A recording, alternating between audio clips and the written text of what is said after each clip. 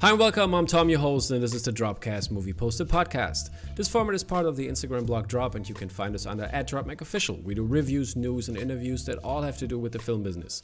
And today we're going to talk to a highly underrated Joshua Budich. He's been part of the alternative movie poster scene for over a decade and has turned remarkable, memorable movie poster since.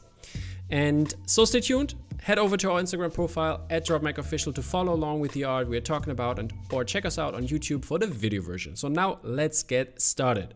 Welcome Josh, how are you man? Good. Hey everybody, thanks for having me down. yeah, thanks thanks for coming on. It's uh it, has been an honor. I, I I have a couple prints as, as we already talked about here in the back. You can see the um the the Star Wars uh, Man, or the Mandalorian print, and I have the Totoro, which is in the back here. Um, uh, of our little uh, the background from the video and uh, a couple others. And I did like before we had before I had the interview I did like a little research on it. And I was like wow he's been on for a long time. I'm sorry I hope I hope you don't feel old now but you've been you've been doing this for a while man.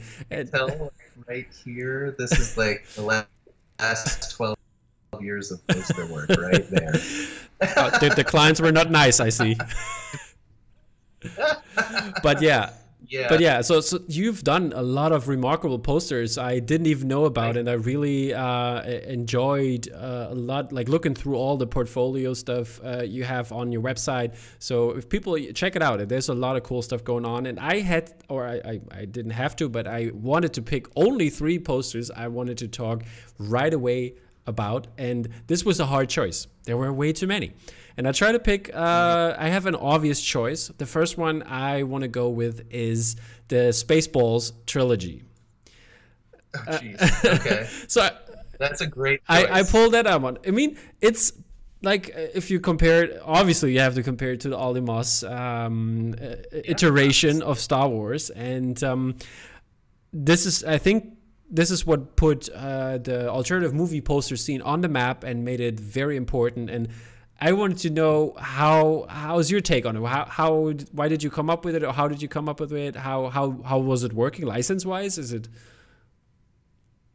It's it, it's not licensed. This is this was just a like guerrilla print that okay. like I I've worked a lot with um Nakatomi uh-huh. Probably for the last eleven years um I with Tim yeah. Doyle um he and I have collaborated on quite a few things. And he was looking to do a project, and so we were brainstorming mm-hmm. one day, and it just occurred to us. We were like, why don't we do a parody of a parody of a parody, mm-hmm. and just see what people think? And and of course. Tim was totally gung ho about it. I had my reservations, but I was like, let me just see what I can work up. And it was, it just seemed to go naturally. I mean, uh, the, the original posters by Olly mm. obviously are so iconic. Yeah. And a lot of people end up confusing my pieces with mm-hmm. his, which is funny. Yeah. But um, I people when we when we were going to release it, they were like, "What does Olly think about this whole?" Thing? So one of my buddies actually wrote him. Yeah. And he wrote back and said, you know, obviously in the spirit of art uh, and creativity, you know, he doesn't he didn't have a problem with it. Okay. I mean, it was like it was just one of those like natural kind of things that was bound to happen eventually. Yeah. And I'm glad that we were the ones who thought of it. but yeah, it was, a, it was a really successful set of three prints. Mm-hmm. I think people really got the message. It resonated with them. I think it was the right um, subject matter to do kind of a parody print. Um, yeah. And obviously the right subject matter to being a parody itself. Um, so yeah. Did... Uh, yeah. I mean, it, it was great. Those, those prints are the ones that I put out on on the table to display when I go to cons because yeah. it's just colors are so bold and the imagery is so big mm. and easily recognizable that it just draws people in. Did did um, did you also get direct feedback from Olly at, at some point or like later on? Um, I did not. Like okay. I've, I've contacted Olly a couple times, uh, just asking about some technique stuff. Okay. And, he's been very forthcoming about you know some of the techniques that he uses. Um, just because I think um, his work, even though it's very iconic and clean, mm-hmm. it doesn't really have that um, vector type of feel to it. Mm-hmm. Like it's not mechanical in its execution. It's it's very painterly. Yeah. So um, I was always curious as to you know was he using brushes? What was his technique? Mm-hmm. Was he doing it on paper first and then transferring it so that it had that hand drawn feel. Um, so it's like I think, um, yeah, starting out very early in my career where uh, I didn't know what I was doing. I had no idea how screen printing worked. I I've just been an illustrator my entire life, yeah. so I just didn't I didn't go to school to be a screen print artist. So all of this has been learned, and early on, he was a very good example of uh, a talent to kind of strive for, and I the way that he rep, the way that he boils subject mm-hmm. matter down to a very easily recognizable icon uh, is masterful. He's he's just probably the best yeah. at it, and I just admire that. I'm a little bit sad that he turned to video games now and just not doing posters anymore. Yeah, yeah. I think, um, yeah. I don't know what the story about that is. I know that when his Batman piece came out, and there was a huge fiasco about people like wanting it, and then there was there ended up being, uh, you know, I I believe there was just way more printed mm-hmm. than there yeah, should okay. have been. So everyone tried to cash in yeah. basically on that poster. Just ended up being completely like everyone had it and everyone was getting rid of it then. But I, I don't know, maybe the industry just kind of soured to him or it just wasn't a challenge. I, I would imagine it it wasn't a challenge yeah. anymore. And so moving on to a different subject matter, um, I mean, it's hard to fault a guy for wanting to go into video of course games. Not. Yeah, I think it's not. a logical next step to take the drawings that we do and animate them or make them interactive, I think is is a great yeah. jump. Alrighty, um, the next one I was uh, or I wanted to talk about is your Kuga Ninja Scrolls one. I really, really enjoyed that one. The Ninja Scroll one. You're talking about the one. Yeah, exactly. okay. uh, uh, I, I that movie, um, there's so much good subject matter. Yeah. Um, and it's it's obviously all of the most adult animes. It's full of um, gratuitous violence and sexuality. Yeah. And it's um, it was a hard subject matter to kind of create a poster for without doing just the floating head thing. Yeah. So I I ended up watching the movie several times, and and there's there's that scene right at the end where he just loses his mind and starts hacking those yeah. ninjas to pieces pieces, and they show that particular scene over and over and over again, and so I just kind of wanted to encapsulate the fury of that scene, like and, and mm-hmm. put it on paper. Um, so uh, yeah, and I that particular print I did, I think I did a, did a spot varnish on the blood, so it's got kind yeah. of a sheen to it. So it was just I, I was trying to I was trying to uh, boil the movie down, I think, to and and an iconic scene. Yeah. Um, rather than just a character stuff. Uh, did did you did you watch the the live action Shinobi movie, which is basically the same story? Oh no! I, I think it's from 2010, a, Japanese movie, obviously, and um, it's it's a really cool take on the Ninja uh, uh, Kuga Ninja Scroll series, and uh, the the the characters like the the the different like superhero abilities you could say they they come up really cool in the live action uh-huh. version. I really enjoyed that one. Yeah, I think um, it, I think if I had another shot at doing that print, I, I would take it because I think that there were some missed opportunities to get into more of more of what the characters mm-hmm. are about.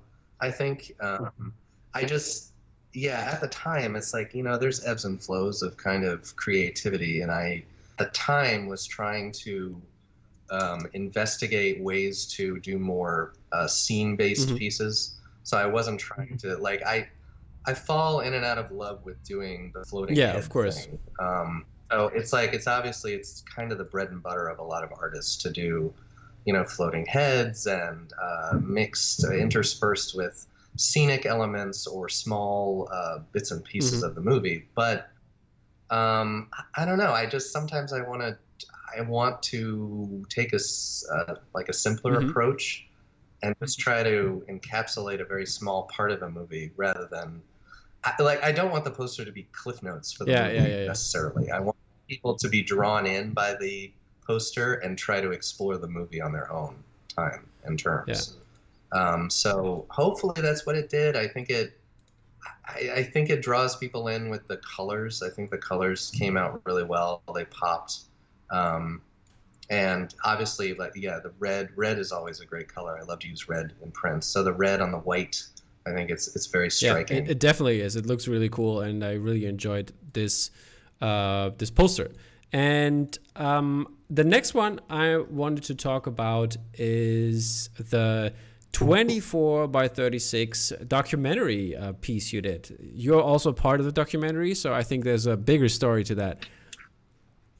Oh yeah, that was um, that was really interesting. I was just it started out with just kind of a um, uh, an email exchange and just you know we're looking to interview some artists and um, you know I didn't know what was going to come out of it, but um, the experience was uh, was great. Um, uh, I, I, I, just you know I I felt kind of like um, you know you have imposter syndrome and I just felt like a little mm-hmm. out of place. But you know, I was happy to be a part of it. Um, and then uh, being asked to do a section of the of the poster along with you know I think it was what four other yeah. great artists. I mean, it's like it's it's hard to beat. Um, so it's like I felt like I needed to really up my game at that point. Um, but yeah, um, the, the, interview process was very interesting. Yeah. Just like you and I talking now, it's you know, it's kind of uh, it's always hard to kind of look internally and figure out what your process was, um, especially going back as far as I go back. Like I, I think when I started this back when I was, you know, I guess I was 30 yeah. at the time, so uh, I just feel like a completely different person. Um, did you did you go back at some point and look at what you said and like do you do you would you say oh I would say with something totally different today? Oh yeah, I mean it's obvious. It's cringeworthy. I hate I, watching yourself on film. I, I, imagine you probably watch yourself all the uh, time, uh, or have, at least with the editing. Process. Actually, this I, I, try to like I just know where like I, I note down the time when I need to when I know oh there's something I need to edit so I basically go there and just edit the, the parts where I know something's really bad, so I don't have to look at myself for the whole time because I don't like it either. And that's like um, the one of the first interviews I did was with Greg Ruth, and he uh, was, he was saying uh, well, um, you you could send it to me, but I'm not gonna watch it because he doesn't want to watch himself. So it's like it's like a crazy thing, but uh, I, I, totally understand. It's a it's a weird feeling to see oneself and hear oneself uh, talking about something. So yeah, and uh, understandably, if you grow up, something changes, and yeah, that's what that was the case for you as well. I think.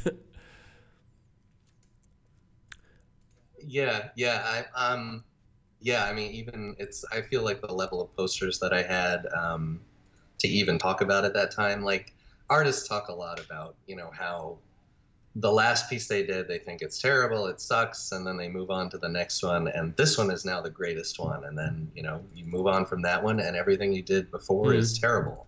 Um, I I've tried tried to embrace um, the things that I've done initially. Like the very first series I did was just kind of music mm. icons, and these were very simple um, vector drawings that were, I think, two colors, but it was basically a one color yeah. print.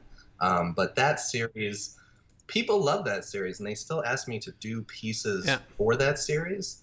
But it's like what used to take me, you know, a week to figure out because my technique sucked and I technically wasn't as good obviously as I as I feel like I am today, but like it used to take me several days to do one of those pieces. Now it's like uh, I think I could do one in a couple hours, and uh, you know it just feels like it feels um, like I'm kind of cheating myself out of the process by not really challenging myself. So it, I cringe about going back to those old series, but I don't want to take the significance of them away from the people who mm-hmm. still love it. So yeah, I it, it's tough. I I think, um, especially since I um, I tend to bounce around stylistically. So yeah. sometimes I'll come up with like a technique that I think works for a certain subject matter, and then uh, find out that um, I you know I didn't enjoy it or it didn't work out like I had hoped, or you know especially if a print doesn't resonate with people. Um, like uh, then you know I just I, I like to bounce around stylistically. Yeah. I, I try to have um, you know super clean vectors, and then I go super uh, brush heavy, and then I'll do originals and scan them and convert them into screen prints. It's just I think it keeps things fresh, but um, yeah, going back to the interview with um, Kevin for 24 by 36, I just, you know, I was I was very much in a I think I was in a place where I had just done a solo show for Spoke with uh, a bunch of anime mm-hmm. stuff, um, and that was a period where I was very much um, against doing my line work in Photoshop. Yeah. So I was doing a lot of line work specifically in Illustrator because um, I was just afraid of the shakiness that I was getting. I, I was still working on a, I was working on a, a Wacom uh, Intuos, the the ones that you put on the desk surface, mm-hmm. and I just like technique wise, I just feel like I completely sucked. So I was, I was, I was working in Illustrator to keep things very clean, and then coloring them in Photoshop, and it was, it was a very um, time consuming process. Mm-hmm.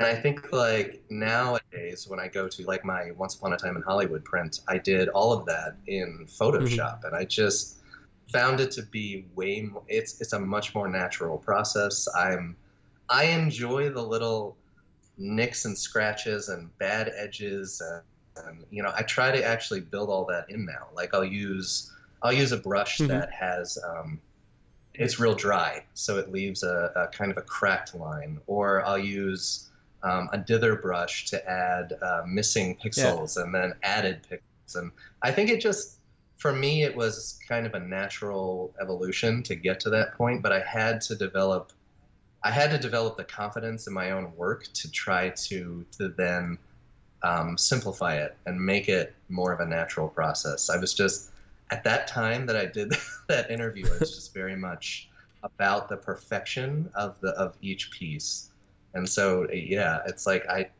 I love now that I've been able to kind of break it down and and make it more of an enjoyable experience to create these posters. Because yeah, it's like you know, you know, you get you get a subject matter and inspiration, and you're like, I'm gonna dedicate the next week or two to this project, and I have to love it the entire time I'm doing yeah. it. So yeah, you have to be selective, and you have to enjoy what you're doing. Um, so yeah, I it's it's funny that you picked that poster because uh, yeah, I, it was a great experience. But yes, definitely cringeworthy. I, I do not go back and watch. all good, all good. So um, speaking uh, of beginnings, uh, I was wondering how did you start out? Like, did you do? Because you mentioned earlier you didn't do like a. Uh, uh, you didn't study screen printing in that kind of sense, but uh, how did you start out? How did you come in contact with the illustrating graphic design world?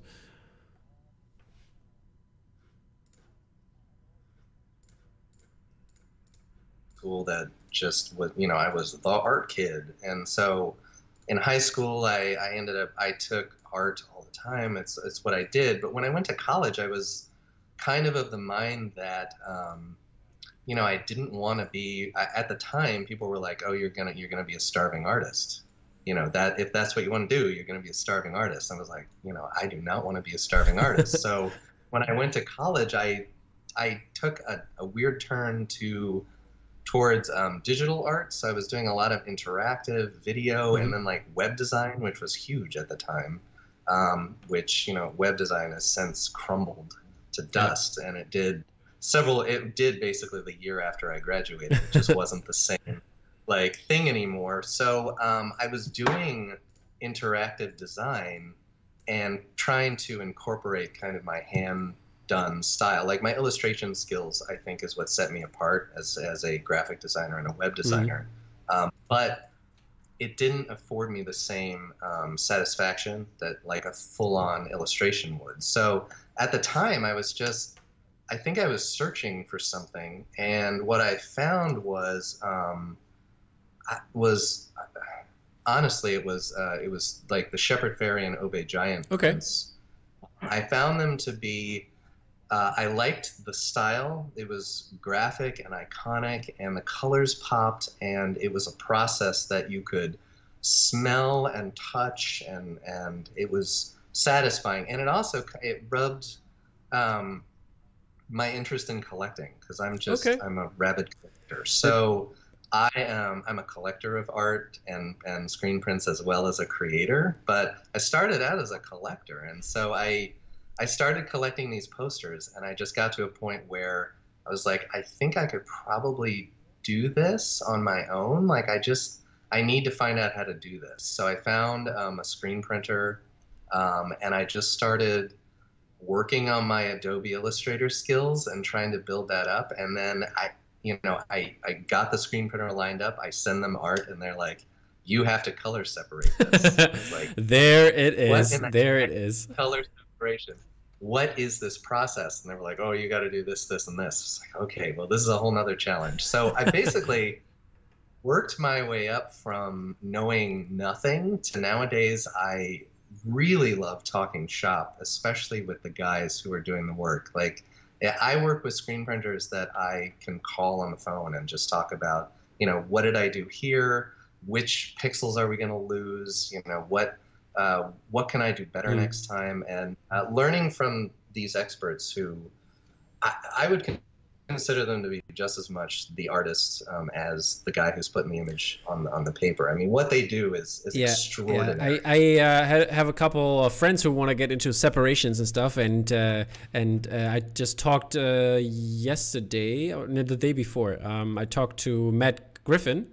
Who did the, the Dune? Uh, like he did like the, the book cover and like the like the uh, front and end illustration for the book, and uh, we were talking about the separations because he thought this this can't be separated his print. It's like it's like a very cool print. It came out in a bottleneck uh, two weeks ago and it's going to be for because we're recording today where the new release episode comes out and that's why i talked to him for it.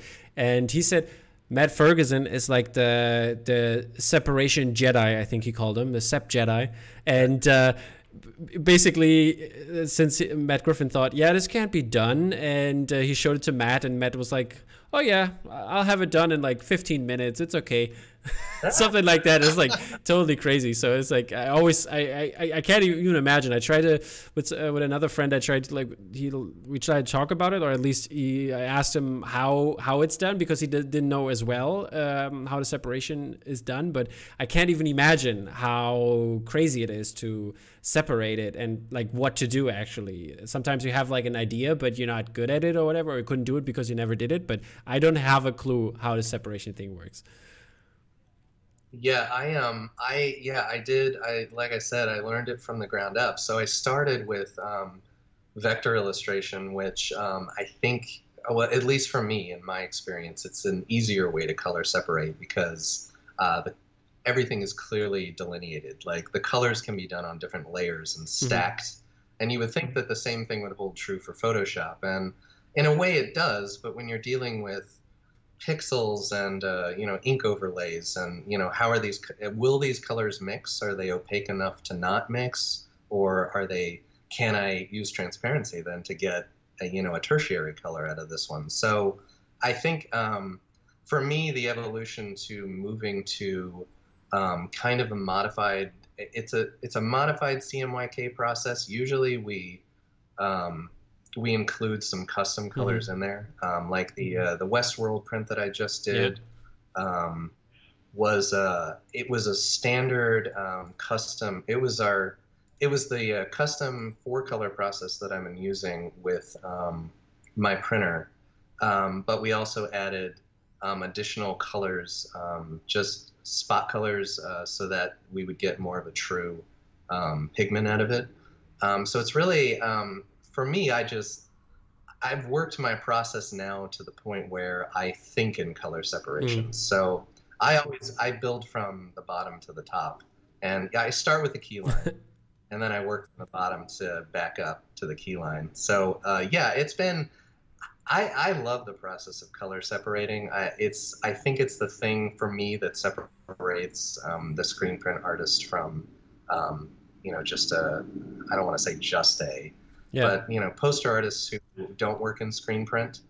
I, for me, the screen print process itself is very satisfying. Okay, and but would you like I, we were like I think we are way down. I had a couple of questions before, but I, we're into it now. But um, would would you uh, do you consider other kind of print work like for example, when you want to go like with even more colors and more details, maybe like do a giclée, fine art giclée print or something like that. Yeah. Um, or do would you rather do a screen print all the time? I think, um, well, you know, it's gonna sound, it's, it might sound cocky, but it's like sometimes I'll look at, sometimes I'll look at a print that um, is done as a giclée, and uh, the quality of a giclée is amazing. And I've done many of giclée myself, but um, sometimes I'll look at a giclée and be like, you know, I, I could I could color separate that into a screen print.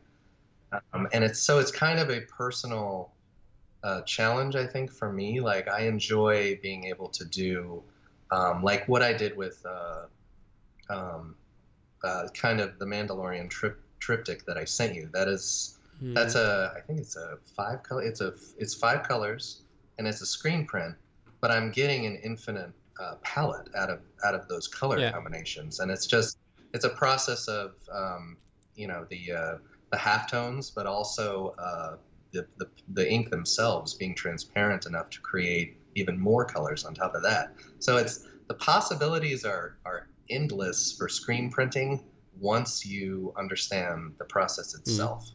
Um, so for me, it's been extremely rewarding to say, you know, I want to do a piece that has 50 colors in it, but I'm going to create it using five. Okay. And so I I like that process. Um, I it's just I, it, it's one of it's I've I've said it already, but it's it's part of the magic of screen mm-hmm. print. Um, is that um, I think what we're doing now, what you're seeing now, are guys who are pushing the limits of screen print um, as as we know it. I mean, I think there's a great uh, tradition in in super iconic, very bold, um, limited color palettes. Um, obviously, screen print is built for that.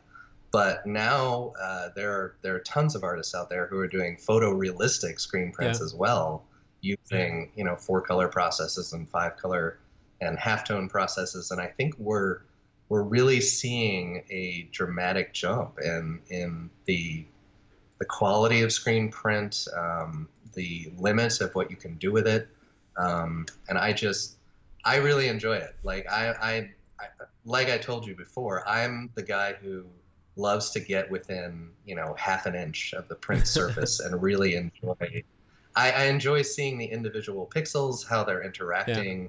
i try to figure out how the artist color separated the work um, to try to understand if they've you know did they use uh, overlay of two inks to get this other color mm-hmm. out of it are they you know so uh, i i yeah, I can appreciate a good like you know this screen print is 14 colors. It's like yeah, I get it. That's awesome, 14 colors. But could you have done it with five? Could you have done mm-hmm. it with six? So um, so what, what I was wondering always um, when you do this kind of screen print, do you do like a like a cutout thing where you like do the colors over, or how how does it work? Because I was wondering.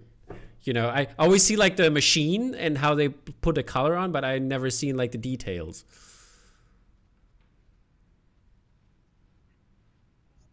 Um, yeah, for me, um, I uh, because screen printing is done one color mm-hmm. at a time. You basically are working mm-hmm. with uh, you're working with black and white pixels essentially. So you know everything that's everything that's that's uh, I, I, work um, I work a lot with masks so that I can understand um, uh, what's what's black is not shown and what's white mm-hmm. is shown. So mm-hmm. um, and then tinting the layers to the colors that I need. Um, but uh, I, you know, I use with my most recent work that I do with the five color uh, like halftone process. It's it's halftones that are actually combined with dither so that it has kind of a dual, like it has a a different look to it. So I can get a painterly or screen printy type of look mm. to it, but still uh, be able to access a um, an unlimited color palette. So uh, it's just um, it's a combination of a lot of different techniques. Like when I did my first um, when I did the original trilogy um, for Star Wars, those uh, prints were that was my first time trying to do um, like a, a which which one are we talking about the the Boba Fett? Uh, episode four, five, okay. and six that I did. Okay, Star I think Wars. I didn't uh, didn't download that one, but yeah, I will I will try to put it in later.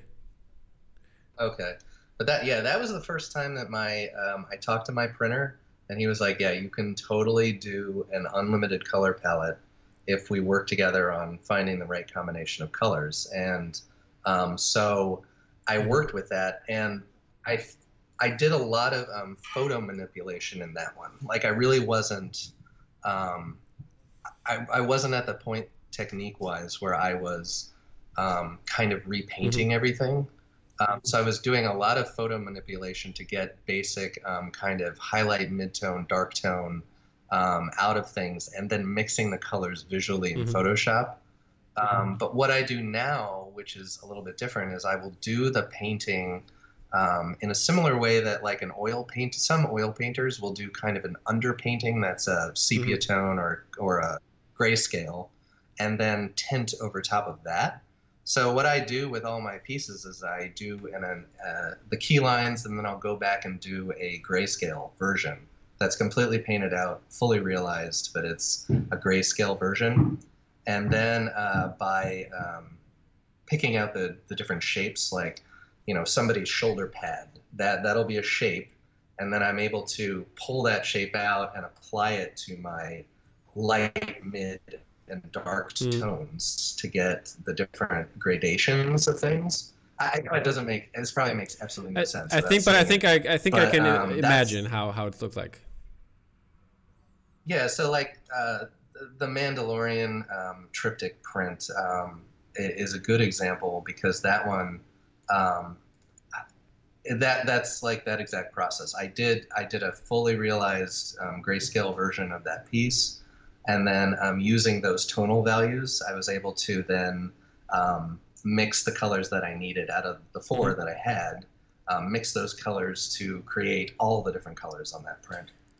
Um, so uh, yeah, but it this new process kind of affords me the ability to do a lot more mixing of techniques. So yeah. that piece that piece has a lot of dither, a lot of halftone, some oversized halftone dots, um, which is kind of an, an, interesting effect. I think it gives it kind of a comic book look, um, an old school type of you know the the heavy dots that you can see. Um, but then I can also like in the background of that print, um, there's a very smooth mm-hmm. gradient so uh, the radial gradient that's right behind the Mando's head, um, that was you know just fully digital. So that one, uh, I I like where I, I'm really enjoying the process that I'm using now because I it, it affords me a lot of opportunities to mix and match different techniques. Um, and still deliver artwork to my printers that's technically sound. Yeah. Like it's, I, I, really, I take a lot of pride in, in the color separation process um, and giving them a file that they don't have to do a lot with. They can just take it. That's right very nice print. of you to do that. yeah. yeah, it's just like uh, it's it's just part of the challenge, and I just I really enjoy the technical yeah. side of the whole thing. Okay, um, I was wondering because because we talked about university, which, to which university college did you did you go to? And uh, you you sent a cool picture. I'm I'm gonna put it in there for all the world to see. Okay. Uh, what what do we see there? That is me and my wife on our first date. Oh. Um, I took her out to kind of a semi-formal dance that was happening on campus. We were we both went to UMBC, yeah. University of Maryland, Baltimore County. Um, people may know them because they actually got into uh, the uh, the NCAA okay. uh, tournament uh, last year. So uh, I think it was last. I, year. I don't remember. Um, Didn't follow anyway, the tournament last year, so. Yeah, but it was like a big deal because they're considered to be an extremely yeah. small school. However, my uh, my wife went to a UMBC on a uh, on a full ride volleyball oh, okay. scholarship, so she was kind of like she was the jock and I was the nerdy artist, and we just like uh, you know met, fell in love, and and it's been uh, it's been a long time. we that was I think that picture was in 1999. Was was that Christmas? It looks like a mistletoe in the back there. Yeah, yeah, it was her oh, apartment, and one of her mates had put like lights just strewed around the, the uh, apartment uh, room. But yeah, I mean, it was long, long, long time ago. Um, but yeah, I was going to I was going to school to be a uh, an interactive motion designer. Okay. So it was just you know heavy into the um, you know at the time it was I think it was Shockwave or uh, it was some dumb program that doesn't mm. even exist anymore, and like Flash, which really doesn't yeah. exist oh, anymore. Oh, man, so those like, times. yeah, I mean we had to. Uh, I I kind of like I had to teach myself a lot of like I taught myself Photoshop. Eventually, I taught myself Illustrator. So it's yeah. Um, good, good thing that you studied at a university, huh? yeah. it's funny. I it's like I think that yeah, if if I could go back and talk to students at university, don't, I don't, would don't go. Just do your own thing, huh? yeah, it's like I would try to explain to them more about the process of working with clients. Yeah, because I really feel true. like that's the missed opportunity. Um, I, I think you go in, you come out of college with pie in the sky ideas about how great everything is going to be, and the reality is, is you're working with people who don't necessarily understand yeah. the process that you go through. Um, they don't, they don't understand um, that you know being an artist is a real mm-hmm. job. Like it, it's hard, and there, there's a lot of rejection there's a lot of people who don't necessarily know what they're talking about telling you exactly what to do. So it's like, it, yeah, if I could go back and talk to students, I would, I would try to impart some sort of yeah. techniques to deal with with people and client interaction. Um, but also, I, I, did go back to UMBC. They asked me to come back and speak to mm-hmm. students mm-hmm. about being a professional artist, and I found that a lot of them hadn't even considered having a portfolio online. Wow. Wow. Like nobody nobody had a website, nobody had a portfolio. It's like how are you going to sell yourself to an employer, a client? How I was I was just this? asking, was it was it 15 years ago when they asked you to come back in? I mean, because come on, we're in times of social media. Like, there's so many efforts to do. You would think, yeah. I mean, you would totally think that. I think it was probably my son wasn't that. It was probably like uh, six, 7 mm-hmm. years ago. But like I was floored. I was like, um, yeah. you guys need to get a website like now, today. Get a website, put your work up, work on your branding, and reach out socially to people yeah. to sell the, the marketing the marketing aspect is like as an artist has to if you especially if you're freelancing uh, it, it's a it's a big part of your job basically oh yeah yeah, um, you have to be um, utterly shameless when it comes to self promotion. Mm-hmm. Um, I think uh, a lot of young artists are like, well, you know, I don't want to toot my own horn, you know, because I, am not that great. I'm just drawing pictures. And I'm like, that is the wrong approach, period. You need to uh, change your thoughts on, on self promotion. You need to be uh, confident in what you're doing and get out there and sell mm-hmm. your work to people because the art is very subjective. So you have to impart to everyone that yours is the right choice. and so, uh, yeah, that's like that's another hard lesson about getting into the professional art world is that it's not sunshine and lollipops and creating fantastic artwork. That's only part of it. like the rest is marketing, fulfillment, um, social outreach, um, dealing with uh, customers and yeah i mean it's it it's is. a lot of it's a lot of work it, it can be extremely rewarding yeah. But um, uh, let, let, let us elaborate yeah. that on because i have like a tips for beginners section in the end so let's elaborate. Yes, let's elaborate on that a little bit. It's, it's all good. Don't worry. Don't worry. it, this is a this is a conversation. We we we can go all over the place, but uh, I try to rein us in a little bit. Um, since this is a since I do actually movie posters and review movies and TV shows, I was wondering what was the last movie, TV show, whatever you saw, and uh, what are your thoughts on it? Um.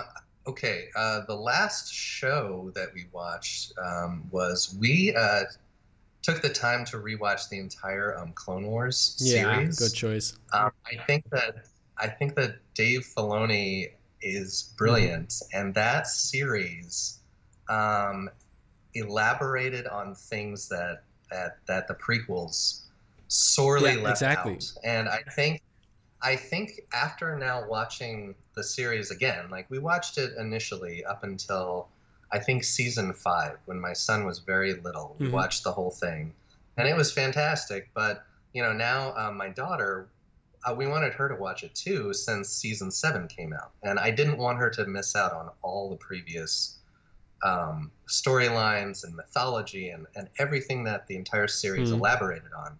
Watching it again was was amazing. It was incredibly enlightening, and now I can go back to the prequels, which yeah. as a hardcore fanboy of Star Wars, I never hated the prequels. There were hmm. things about the prequels that I just could not watch. Like they were just scenes yeah, that cringy, were cringy, cringy. so cringeworthy. Um, but now that I understand kind of the backstory of the whole thing and how Clone Wars really draws that and, out. And, and like, I also think Anakin became just such a great character through Clone Wars. And yeah. like when you look at episode two, for example, when he's basically, I'm sad, I'm angry, I'm sad. You know, yeah. it gives him more of a spectrum and more of a balance as a character. And I think Clone Wars did such a great job to um, make this character great again, basically. Yeah, it really, it really did. Um, and I, uh, there's, there's a, I think there's a three part um, episode, three, three part series, kind of in the middle of maybe season mm. three or four, where they end up on a planet talking to um, this uh, Force yeah. user who has a son. Yeah, yeah, yeah. That's that's a that's a great one. Yeah, Mortis. It's I on mean, Mortis, like, I think. Yes, Mortis. It is unbelievably uh, enlightening as far as yeah what is the force it's, why are midichlorians even yeah. a thing just and like and then uh, fast forwarding to the end of that series where the clones spoiler alert by the way for all the people out there spoiler alert sorry uh, but yeah the whole like the background about order 66 oh, oh my god i mean it's like it's heartbreaking it is. It to is. watch. And I think that that series um, is so important for anyone to watch. Please watch it between episode. If you watch episode one, start watching it. If you've watched episode one and two, you have to watch it. Then watch episode three. Yeah. Because it's like there's things that go on in season seven that talk about what's happening in episode three. Yeah. But it's the whole other half of the story that exactly totally different perspective. It's it's great. Yeah, I, I cannot talk did you, how great that I can't talk enough. About. Did you watch Rebels as well then, or not yet? We did. Yeah, I want to go back and watch Rebels now because that you know that's further um, elaborating on Ahsoka's mm-hmm. story and how I mean. Spoiler alert, but like her last her last oh talk God, with oh Anakin, oh and I was like, "Oh my god!" So at this point, she doesn't see him again. I I was crying. I was crying actually. yes, I, I, mean it's yeah, it's making my. Uh, I got yeah, yeah. I, I got goosebumps like, already too. but yeah, it's like uh, you know, Rebels has now got so much of uh, more important importance mm-hmm. to it to watch. So I, you know, I, sa- I sound like a horrible fanboy going on and but on. But it's the truth. It's the truth. Come on, I, I, can take it. You know, I, I got I got Boba Fett, the, the mythic Boba Fett there. I got a Tusken Raider back there. I got I got Last Jedi, uh, Mark, uh, yeah, Luke Skywalker back there. Uh, and obviously yeah. over here the Obi Wan uh, mythos. So from side from sideshow, yeah. I mean, I mean, you talk to a fanboy here as well. Good. yeah, it's a. I can go on and on, but yeah, Dave Dave Filoni really he, he saved that. That he saved the mm-hmm. prequels and then seven, eight, and nine. Basically, I. I'd like to see them elaborate a little bit more on seven, eight, and nine because I, I think there's mm-hmm. some content there that could be drawn out.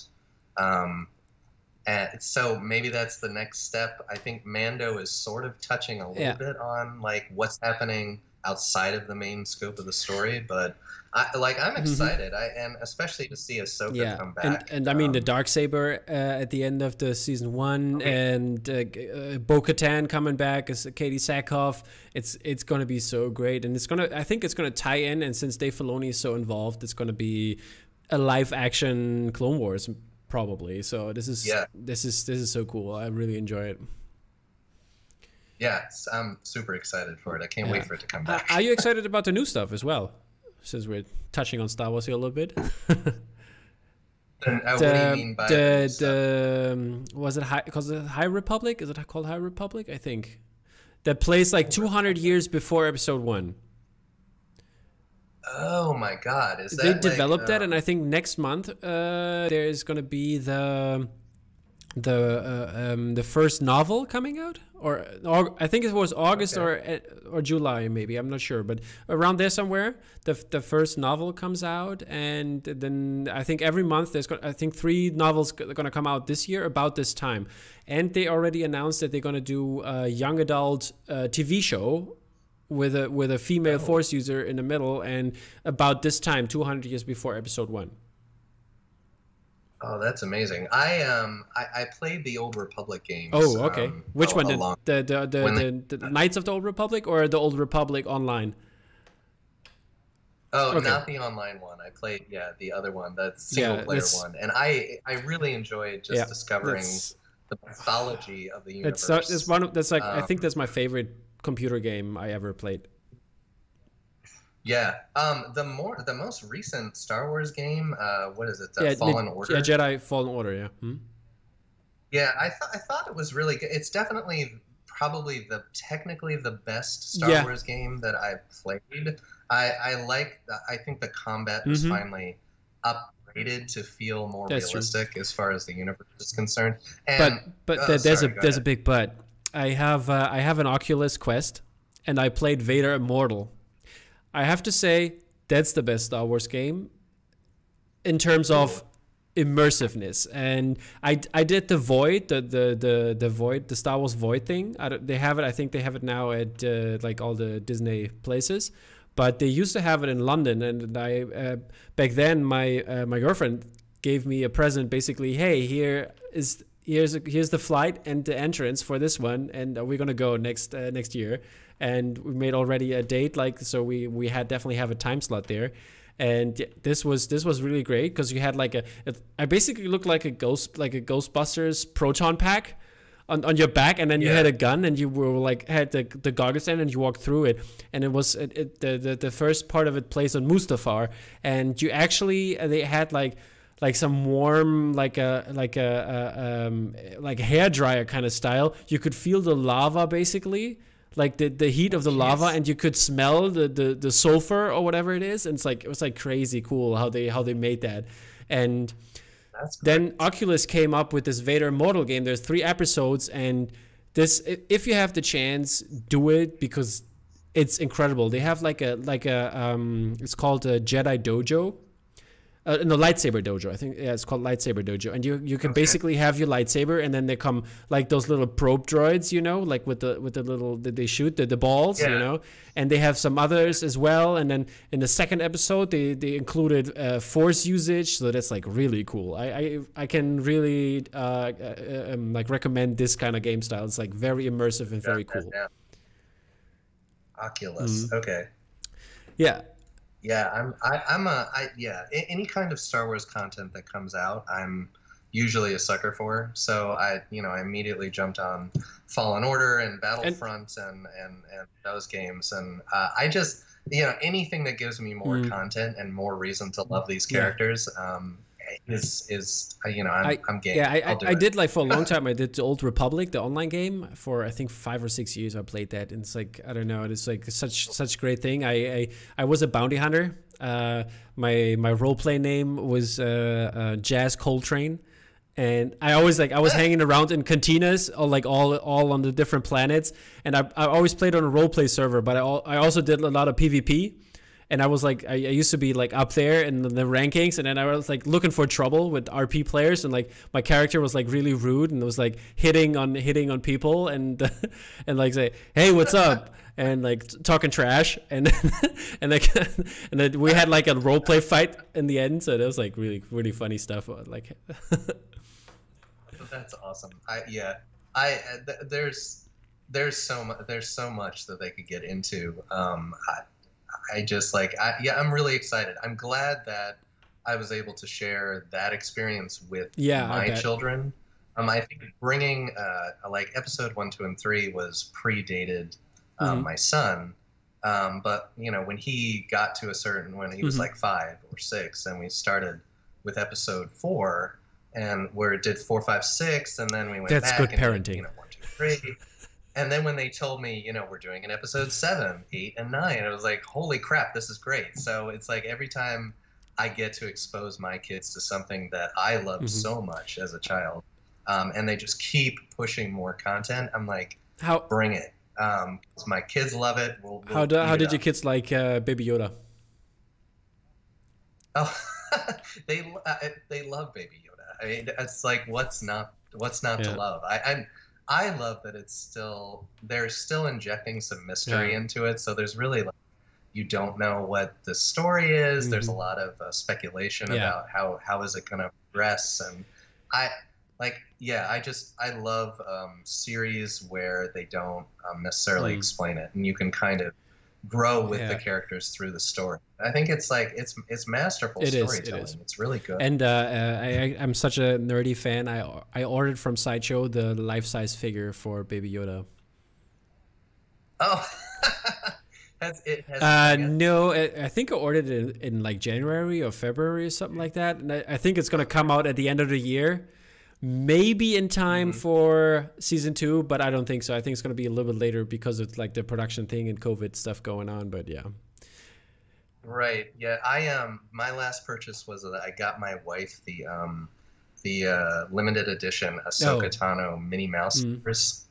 um, which like sold out instantly from yeah. Disney. Um, we we spent all day online in some sort of queue waiting to get those ears, and it was like you know, it's like you think I, I, just spent you know so much money on these ears, but um, when when you go to the park and you've got these things that nobody else has, yep. like it's really like a special experience. my uh, yeah, my son has the old um, R2D ears before. Yeah. It's the ones where uh, the ears are made of a certain. I think it's an. It's like a series one. Mm-hmm. So every time every time we go, people are like, "Where did you get that version of those ears?" And we're like, "We got it years ago. Collector's like items. Yeah, it's uh, it's crazy, but yeah, it's like um, uh, like I mentioned, I'm like I'm a huge collector. I'm a sucker mm-hmm. for. Yeah, I know the feeling. yeah, I've got like um, I collected all of the Star Wars figures from Episode one mm-hmm. through three. The so the the like, Force, uh, the Legend of the Force one, the the the the the, the, the smaller ones. Yeah, the um yeah the little guys that um yeah, what was this? What was the series called? Said, something Legend of the Force or something like that. Yeah, I spent too much time and too much money on all that crap. I've got like 600 figures in star cases. Oh, I mean, yes. I know that's not a lot, but you know, yeah, for me, it's still it it's still a lot, man. It's still a lot. but yeah, yeah. Um, okay, let's let's get back to the movies. Uh, what what's your what's your favorite movie? Um, uh, no, I'm sorry. What what's a what's a what's a movie you're looking forward to coming out soon? Oh, um, uh, definitely um, Pixar uh, Soul. Yeah, um, good choice. I, yeah, I love um, Pixar. Um, I've been an enormous fan of theirs since mm. you know Toy Story came out in what was yeah. it 95, 96? Yeah, some somewhere around there. Uh, yeah, it was a long time ago. I actually, um, when that movie came out, um, I got the Buzz Lightyear, um, like the full size, real Buzz Lightyear. Yeah. Um, and uh, I, when my, when we had our son, I, I gave him that toy, and what I realized was is that toy was, that toy was 15 years old when I gave it to him. I mean, now it's oh, even older. It's like a 20 year old toy.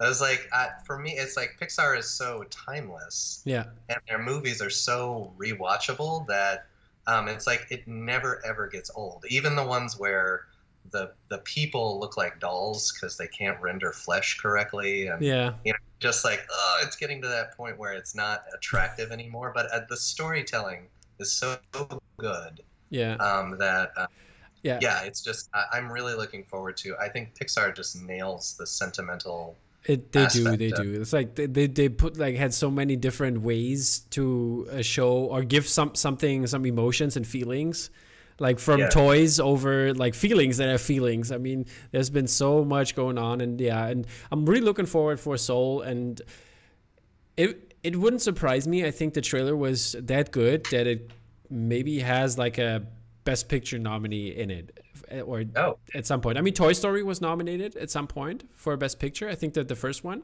or was the mm-hmm. first or third one, and I think Soul could do that too.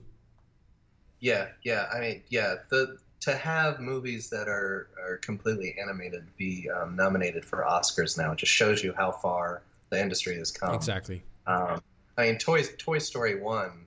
I mean, you look at that, and I think what did that that came out like? Was it? It was after Jurassic Park came out. Yeah, I think which Jurassic Park kind of redefined what it was to use CGI mm-hmm. kind of in movies. Yeah, like Jur- people were like, "I believe it now." Yeah, um, Jurassic Park so, was ninety three and Toy Story was ninety five. Okay, so it's like you can see, you know, uh, how far that industry has come. Mm-hmm. Like now, it's like to put um, CGI into a movie to actually to not have CGI in a movie is a huge deal. Um, to have like um, what they did in uh, episode seven with like um, you know practical effects and going back to puppetry and hmm. masks and things like that. I mean, I think it shows you how like that that industry has gone full circle, and now we're coming back to kind of uh, more of an artistic approach to movie making with utilizing different techniques yeah. and um, but yeah pixar just oh my god I, my favorite pixar do we want to get into sure go ahead go ahead go ahead my favorite Pixar film is is okay. It's when when my wife was when my wife was pregnant. Um, we were on vacation and we went to a little movie house and we watched uh, Ratatouille. Mm-hmm. Now the the the final scene in Ratatouille where Ego takes the bite of the um, takes the bite and imagines himself back in his mother's home. Yeah is probably one of the best scenes in any movie I've ever seen. All right. I love that scene. But my favorite Pixar movie overall would have to be WALL-E. Yeah, yeah. Um, Let, let's let's circle back when we come to the poster. Okay. But uh, yeah, um, favorite movie, uh, not Pixar, but overall, which is that for you? Oh, um, man, uh,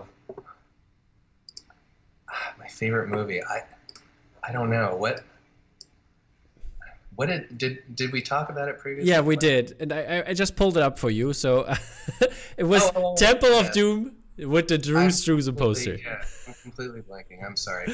Yeah, um, I uh, yeah, I love um, I love that I love that series. The Indiana Jones movies, I think, uh, work great as a as a. It's not really a trilogy because they threw in that mm. one at the end. Um, but yeah, so, yeah, so it's, like, so it's a trilogy because nobody counts that one. right.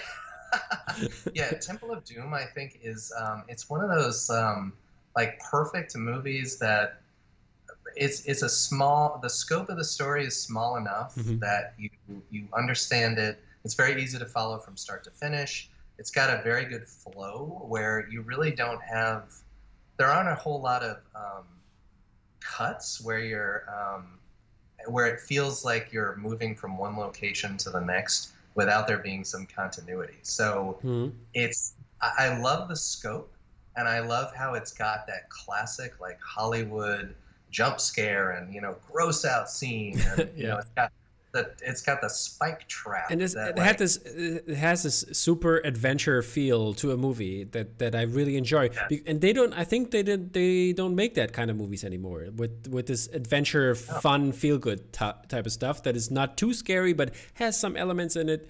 But I think they don't make that anymore. Yeah, I, I think you're right. I feel like um, that yeah that movie genre in particular is it's it's super fun. So yeah. I don't know why they. I'm sad about it as well. Yeah, movies like that. I just I think maybe maybe audiences are coming to movies with certain expectations, and like when you have when you have those iconic scenes, like when you know I, am thinking about um, specifically for Temple of Doom, like mm. when the door is coming down yeah. and he reaches under it to grab his hat. Yeah, yeah, yeah. Like I like I love that part, mm-hmm. but you might get like a more modern audience that's like, oh my god, that's so like dumb and, and that's so uh, 1980s. And, yeah, but it's like I, my kids in particular have very much latched onto that um, that uh, time yeah. period. Like good, good, good. Kind of the hokiness. Did, of, did you show them uh, Goonies yet?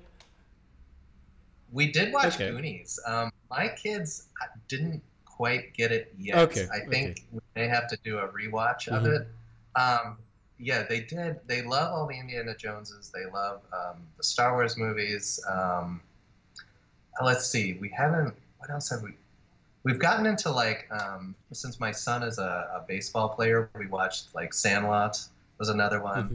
and I have that print as well, um, which is just a great yeah. print. But um, yeah, it's um, yeah, but uh, Temple of Doom in particular, I just like, yeah, I really feel like it's it's almost like a um, a uh, like I want to compare it to like um, a Samurai Jack yeah. or something, where it's kind of like it's a single episode of a mm-hmm. series. And so you feel very satisfied with the way that it starts and mm-hmm. ends, and it's very, it's like wrapped up and done, and everyone goes, "Hooray, we saved the yeah. day!" And it's just, it's great for that aspect. Okay, yeah, and since the the original poster is by Drew Struzan, is there anything you do not like about the poster? oh, that guy, he doesn't know what he's doing. Um, that crazy. No, he's crazy. obviously, he is, you know, considered to be one of, if not the master mm-hmm. of poster art, and we all owe him a great debt as far as uh, even putting the idea of a movie yeah. poster kind of I, I mean, there's obviously guys who predate him, and so movie posters have always been this big thing. But um, for modern day posters, where you know a lot of people go, "Ugh, the movie poster is just floating heads. They all have the same color palette." Um, he has been steadfast in mm-hmm. in um, defining what the art of the movie poster is, not just the production of a poster to advertise a movie. Like he makes a work of yeah. art, and his portraiture is second to none. It's always spot on. Um, composition wise, it's it's beautiful. It's laid out in a way where you can see the flow of the story. Mm. The combination of um, usually he'll put things around the frame or small objects that kind of interact with. So you get this like flavor yeah. of what to expect in the movie, but you're not given any kind of spoiler. Um, but there is he is he's hinting at things that are coming mm-hmm.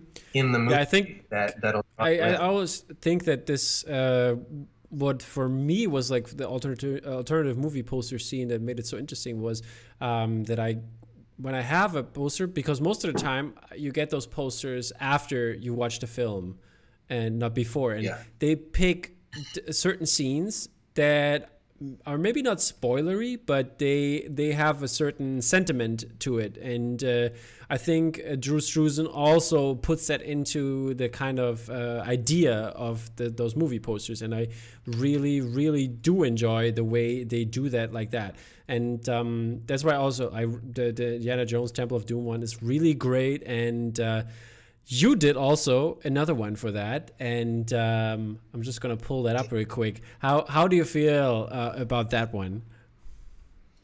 Um, I I tried to to be inspired by Struzan, but not um, uh, derivative mm-hmm. of it. So uh, I, I I like to think that my strength is in portraiture, so it's very heavy on um, representation of the characters. Mm. Um, I was trying to show uh, just the colorfulness of, of the movie, um, the drama with like you know the flaming heart and yeah. um, a kind of it, it's very symmetrical in the way that it's laid out. So I've got kind of like good and bad on both sides, and mm-hmm. there's kind of hints, small objects, yeah, and then the it's it's very Star Warsy, I would say, because like the Star Wars posters are like that. You know what I'm saying? Yeah. Yeah, I think um, I've had a couple of art buddies say that you know the uh, the tri- the magic triangle yeah. um, is is very much like I. It's very forward in a lot of the work that I do. I enjoy symmetry mm-hmm. um, when I when I can do it. I, I think that um, it. I think it makes it makes that particular print very solid in the way that it's laid out mm-hmm. because of its symmetry. So it doesn't have like like I would say, like some of the more recent posters I did, um, like Once Upon a Time in Hollywood has kind of a flow, yeah. like it has like an S curve that goes through. Um, the the Indiana Jones posters I did are very solid in their representation. And was that the, the print was obviously licensed? I would say was it or yeah. no, it was a commission. Oh, private commission. commission. Okay, okay. Because I was wondering about the likeness of Harrison Ford. I mean, that's always like a topic that is really yeah, I mean that it's funny you mentioned him in, in, particular. Harrison Ford is one of those guys that like I would describe him as ugly mm-hmm. handsome. So like you look at him at certain angles and you're like, man, that guy's good looking. But then you look at him in others and you're like, ah, who's that? Shield my eye. So he he has a very asymmetrical face, and I've had the pleasure of drawing him many hmm. times, uh, probably like a dozen yeah. at this point, and it's always a challenge to get his likeness right um, because of the asymmetrical nature of his face. um, yeah, I mean, it's it's definitely it's a challenge. Um, it's one that portraiture is is fun um, to do, um, but when you do it wrong, um, you get a lot of reaction from people. Yeah. I think people people have images that are very clear about um, celebrity in particular mm-hmm. in their mm-hmm. heads, and when you put that down on paper, if it's not exactly how they saw it, um, you know yep. about it. Like they will tell you, yeah, they're like, oh my god, the neck's too long on that guy, or god, is, is it is, is that is that from the recent one? Because some people said that uh, yeah, about Brad did. Pitt, huh? People said that I, like I loved that. Uh, you know, I I felt compelled to send the proof that it was it was spot on. Like the measurements yeah. were exact, and uh, it's just it's one of the like it's definitely a lesson learned for me. So um, you know, next time I do a piece, me be more cognizant of you know that particular um, thing. I I think it was the trick of the eye because his head is behind a letter that's I think it's it's right behind an H, which is very vertical in its nature. Yeah. So I think that the way that people's eye follows that line compared to the neckline, like accentuated the fact that it was Brad Pitt's got a really long neck. like that's just that's that's, that's what it is. Anatomy. Yeah, yeah. That's how it works. And so I was like, yeah, that's that's how it works. But you know, because of the trick that was going on with the the parallels, I think um, it it just over accentuated yeah. it. So it's like when when I do a piece like um, the Temple of Doom piece or or another one that's heavy on portraiture, mm-hmm. I really have to be very intense about um, making sure that I'm getting the most representative um, uh, um, like source material possible. Yeah. Like I really don't. Uh, you have to get people at certain angles. Like for some people, profiles work way better than straight on, yeah. and I would say that more so about probably um, female uh, actors tend to. You have to be very exacting about how you position their face and make sure that their their nose in particular works from like if it doesn't work from a straight on, you have to turn it sideways to make it representative. Mm. Um, and I just, uh, yeah, portraiture is it's it's hard. Um, it's a it's a hard way to work. I think with posters, um, just because it does open you up to a lot of judgment. Um, um, but I think you know I, I've been pretty happy with the portraiture that I have done. Um, and yeah, I when I do a poster that doesn't have portraiture, I find that people's reaction to it is not as good. I think people like uh, the the representation of actual people. I think it yeah it makes for a warmer poster, I think, and and more interactive uh, poster for people. So uh, yeah, so yeah, okay. I thought you I thought you were gonna say something some more, so that's why I didn't say anything. No, it's like I can go I can go on. And yeah, on yeah, I figured. The, you know, I, I, I, like to listen. I, think the, the people also like to listen. I mean, that's that's that's what they're here for, listening to the artist talk about his art. but okay, the next thing uh, I wanted to. Yeah, I I had I had posts where I spent I'm I'm sorry, you're a little choppy. Hold up, wait. wait. Oh yeah, you're you're kind of going out, so I'm gonna let you settle down for a little bit. Yeah, hold up. We're gonna wait for a second. I, I don't know if it's is it at your end the connection, maybe. Um, it might be. My uh, my kids have to do uh, homeschooling um, oh, okay. still, so there's a lot of streaming going on. Ah, right okay, that that explains a lot because because because like you know I've I've been balancing the whole time. Like sometimes uh, because the, the the resolution on the camera because of the stream goes smaller and I have to adjust like the resolution uh, within the stream, um, the, the, the, the live uh, editing, you know? And it's like sometimes your sometimes your head just automatically pops like like uh, becomes like super small and I have to like adjust. It's like, oh, switch scene, switch scene. So I'm like, I'm like struggling here. That's that's why sometimes I can't pay attention because I'm doing like the editing, and then I hope, oh yeah, keep talking. That's good. wow, that's that's amazing. Kudos to you. Thank you, I, thank you. I I do a little bit of video editing for um, uh, sometimes, and I just I find it to be so um, tedious. okay, um, moving on then. Uh, yeah, yeah, we did that. Okay, I'm coming to the, to the three movie posters now, and I'm gonna do like a little little uh, rollover. Okay. okay. So, uh, since we talked about a lot of posters already, I was wondering what other artists you really enjoy when it comes to movie posters. Okay, I would. Um, I, one of the the guys that I collect um, pretty much all the time um, would be uh, Ansin. Yeah, Martin. So Ansin. I have I have quite a few of his posters around. I think his superhero work is great, but my personal favorite poster that I have hanging up is his Ghost in mm-hmm. the Shell print. Um, I think that. Uh, I like his Dracula a lot. His Dracula is very cool. Yeah, yeah. I think that um, like his early work is fantastic. I think that um, some of the stuff that he's done, um, like the larger uh, movie posters and things, mm. I, I, I, I like his strength is in uh, the composition and the way that um, he decides um, with what the typography is going to be and how it's going to interact with the piece. Yeah. So his more interesting pieces are when he's kind of allowed to go off brand mm-hmm. and kind of redefine how the title works and how it interacts with the piece. And the way that the title treatment works in the Ghost in the Shell print is uh, is masterful. It's like done in a circular fashion. It's with, with a custom, I believe it's a custom font treatment. Um, but by exploring the way that's in kind of circles, you you discover the upside down. Um, the other uh, female robot character is mm-hmm. like upside down, like underneath, and it's just the way that he dictates the flow of the piece with the typography, I think is is fantastic. And that piece, uh, the colors are are super poppy.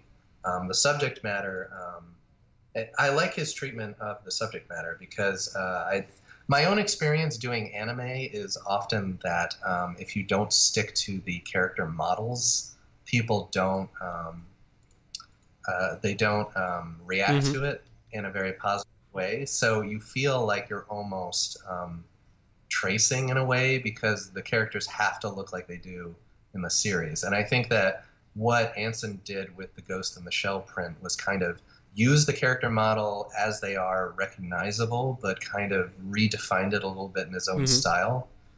Um, so uh, yeah, that piece I, I love that. Piece. Yeah, you, you have it up. Um, I, am gonna take it a little bit ahead because you also have the uh, the, the print you, you gave me a photo from from your home where you can see the prints. Uh, yeah. I, I, pulled that up real quick for everybody to see as well. And and I saw there's already another Ansin in there, and I pulled up the Black Panther one. The Black Panther one I actually have in my flat file behind me, so this is this is what this is the one also in there. It's a it's a really really great piece yeah. by him. Wonder Woman's in there too, um, uh, right next to the Black Panther. Um, the Wonder Woman, I I think it's great. I, it's not my personal favorite yeah. of his. Um, I, uh, but uh, the colors are just amazing, and, and the, the technique is flawless. Um, when you look at it up close, I mean, it's just it's absolutely flawless in in the the execution of it. All right. Um, the Tyler Stouts. So um, I've been a I've been a big fan of Tyler for for a while. Um, I have his uh, one of the photos that I sent you has his um his polar bear. Uh, um, I think it's polar bear two or I forget what it's. I'm, I'm, looking for it. Let me see. I have to go. It's, uh. Oh, there it is. I, I, found it. I found it. Rings on the, yeah. yeah. so it's got the Horky and then the two yeah. Tyler Stouts, and then there's a Nan Lawson there, which I really love, um, and then my own uh, Amy Winehouse, um, and then a woodcut, which I'm, I'm blanking on the artist. Which is that, the woodcut? Uh, the Liz Taylor that's right above my Amy okay. Winehouse. Okay, yeah. Um, that is a woodcut that's been painted and then reassembled, um, and then uh, and then there the other. Are, are we going through the the pictures we, from... we can do that we can we can we can pick that ahead because it also includes i mean the question if if you're collecting and uh, yes we can tell you are collecting yeah um i i have uh i think in the uh the picture that i sent you the home uh the seventh picture the number seven one that has my ping pong table in there yeah got it got it it's uh the ping the ping pong table goes in the tips and tricks that we'll talk about later yeah. Um, but yeah, in that photo, I've got two Gabz, which I'm a big fan of his. Mm. I, I, mm-hmm. think his work is second to none when it comes to yeah. detail and the micro detail. There's the John Wick behind me. I was I was yeah. lucky. I, I, just told the story yesterday also to uh, Scott C because I was talking to him and. Um, he, uh, I, I, told him that uh,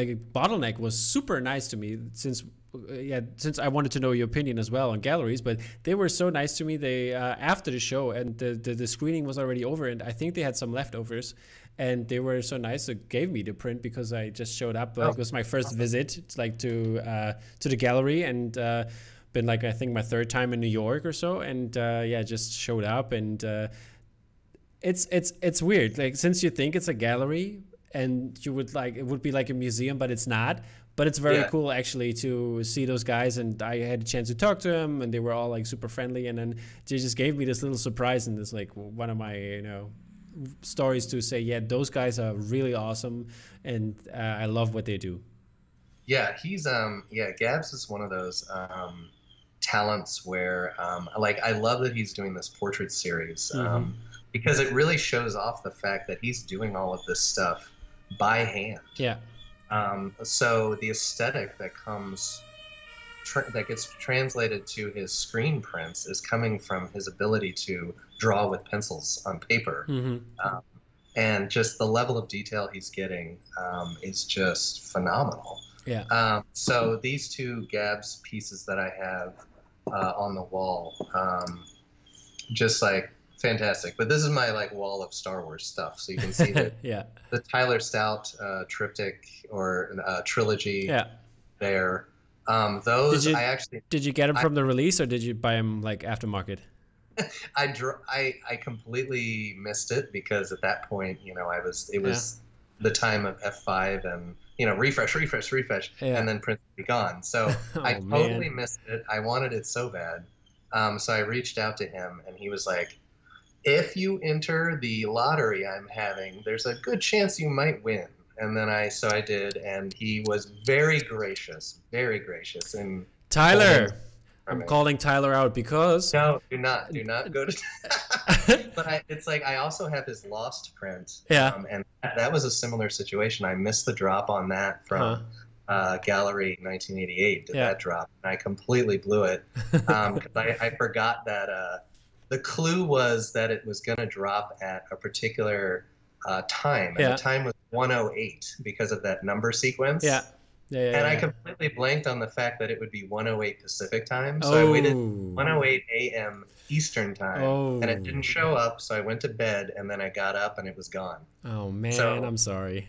Yeah, so I reached out to Tyler on that one too, and he was nice enough to send me the print, and he also numbered it with my initials. Oh so man, it's JB. Yeah, so it's I, I'm assuming it's an AP copy, but it has my initials on it. And it's like it's one of those prints that I will leave framed and on the wall forever. Okay, I think we have to stop here, Joshua. I, I gotta go.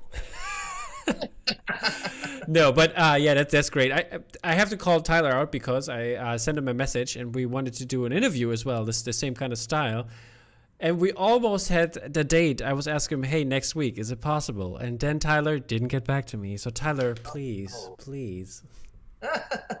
yeah, he's um I, a lot of these artists I I find like uh, the ones who are forthcoming about sharing technique and yeah. and talking about their work. I I really appreciate that. I just you know, the spirit. There's a spirit of competitiveness, which I get, but the artists that have nothing to hide and aren't um, afraid of, mm. uh, you know, you can't do what they do, even if yeah. they explained it from step one to sure. step 100. You could not do what they do. Of course not. And so, so, like Gabz, for instance, I am, um, you know, I I called Gabz and well, I asked him first. I was like, "What brushes are you using?" Because yeah. I cannot, for the life of me, figure this technique out. Yeah. And he was like, "Why don't you Skype me?" and we'll figure this out. So I Skyped him and he was like, here's what I do, here's what it looks like before, here's what it's after, use these brushes. And he sent me the brushes.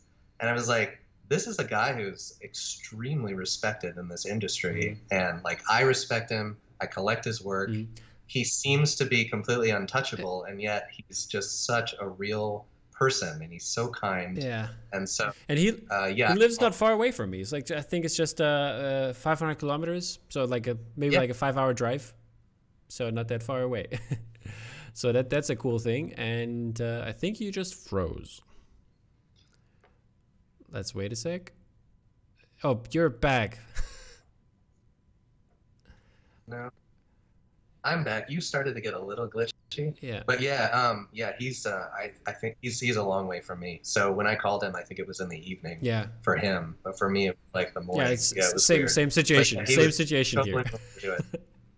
yeah, yeah, it was uh, it it was awesome. So yeah, whenever he puts stuff out, I you know I I, I love to get it when I can. Mm. Um, it's hard to get this stuff nowadays, but yeah. Uh, yeah, um, I, I reached out to him about a, the Bruce Lee. Yeah mm-hmm. um, on the yellow stock um, Bruce mm-hmm. Lee, um, Return of the Dragon, I think is what it is, yeah, right? I think so. Yeah, Return, and uh, with the uh, the Chinese um, characters on the bottom. Mm. Uh, and he he sent me one of the APs before he dropped it publicly, and he was kind enough to write a Bruce Lee quote on the bottom of it. Or I gave it to my son. Um, but it's, the perks of being an artist. Josh, you get, could you please stop? You're making me very jealous. I feel like such a name dropper. It's awful. yeah, yeah, yeah. So that that's how you get them. So they're gonna they're gonna pop up here, and everybody's gonna hear how nice they are. And yeah, oh Josh, here that's your, that's the print for you. Thanks for mentioning me. oh my god, I hope they don't kill but yeah, um, how how do you like his brother though? I love his brother as well. Yeah, Krabs. Um, I don't. He's he's crazy. Yeah, crazy. I don't have any of his work. It, it's like it's really, it's difficult to to get most of the time. Yeah, I know. But yeah, I know. Those two guys. It's like how could so much so much talent come out of like uh, you know brothers it's like unbelievable that they would yeah. they're both so super uh, are, so, are, there any brothers any other brothers in the game i'm sure there are um, but yeah i don't I don't know any offhand. Okay, but it doesn't so. seem like it would be that odd. But to have the two of them uh, be in the same industry, yeah. doing pieces that are, um, you can clearly tell, you know, one one piece from from one one of the brothers' pieces from the other. But the way that they, the, it's very similar to how I like uh, Ansin, mm-hmm. in that their pieces are dictated by the typography. Yeah. So they are. Um, they're very, very good at custom font treatment, um, placement of typography, mm. using the words themselves to kind of dictate the narrative of the piece. Mm. Is um, it's really um, unique, I think, about their pieces. Yeah. Um, so I have like a really deep appreciation for the technique that they're using and the process. Mm-hmm. but yeah, like Tyler, I have I have a lot of his older pieces. I I started collecting him back when you could still buy his work. Yeah. Um, and wouldn't good, just good for you. Everything. Good for you. yeah, it was funny when I started collecting um, Obey um, mm. 12 years ago. Uh, Shep's page, when I first went to it, mm. it had about, I think it probably had about 20 posters on there that you okay. could buy because he wasn't selling out all the time. Like you could buy really, like all of his stuff, really old stuff, and it was all there. and then like six months later, people were like, "Who is this guy?" And all of his stuff sold out. Like, That's crazy. So it's like the industry itself has changed so dramatically. Mm. I think, um, like even when I started, um, you know, I could drop a print and sell it in like a minute. It would be gone. Yeah, yeah. And it, like those were the good old days. These were the days where um, the galleries were just starting to come into their own. Mm. Um, there weren't that many artists out there.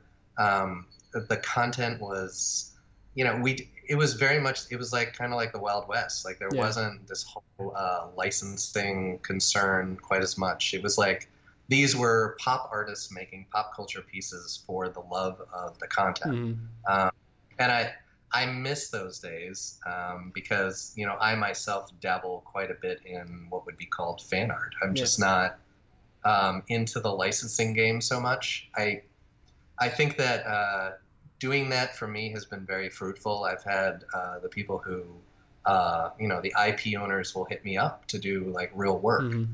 So uh, for me, you know, I would. It's been a very good thing for me to kind of push that. Um, push that in envelope of uh, you know what is licensing is it necessary yeah. and can i have the confidence to put a piece out um, that may get me some work from mm-hmm. like the real people like pay homage and don't sweat the licensing so much mm-hmm.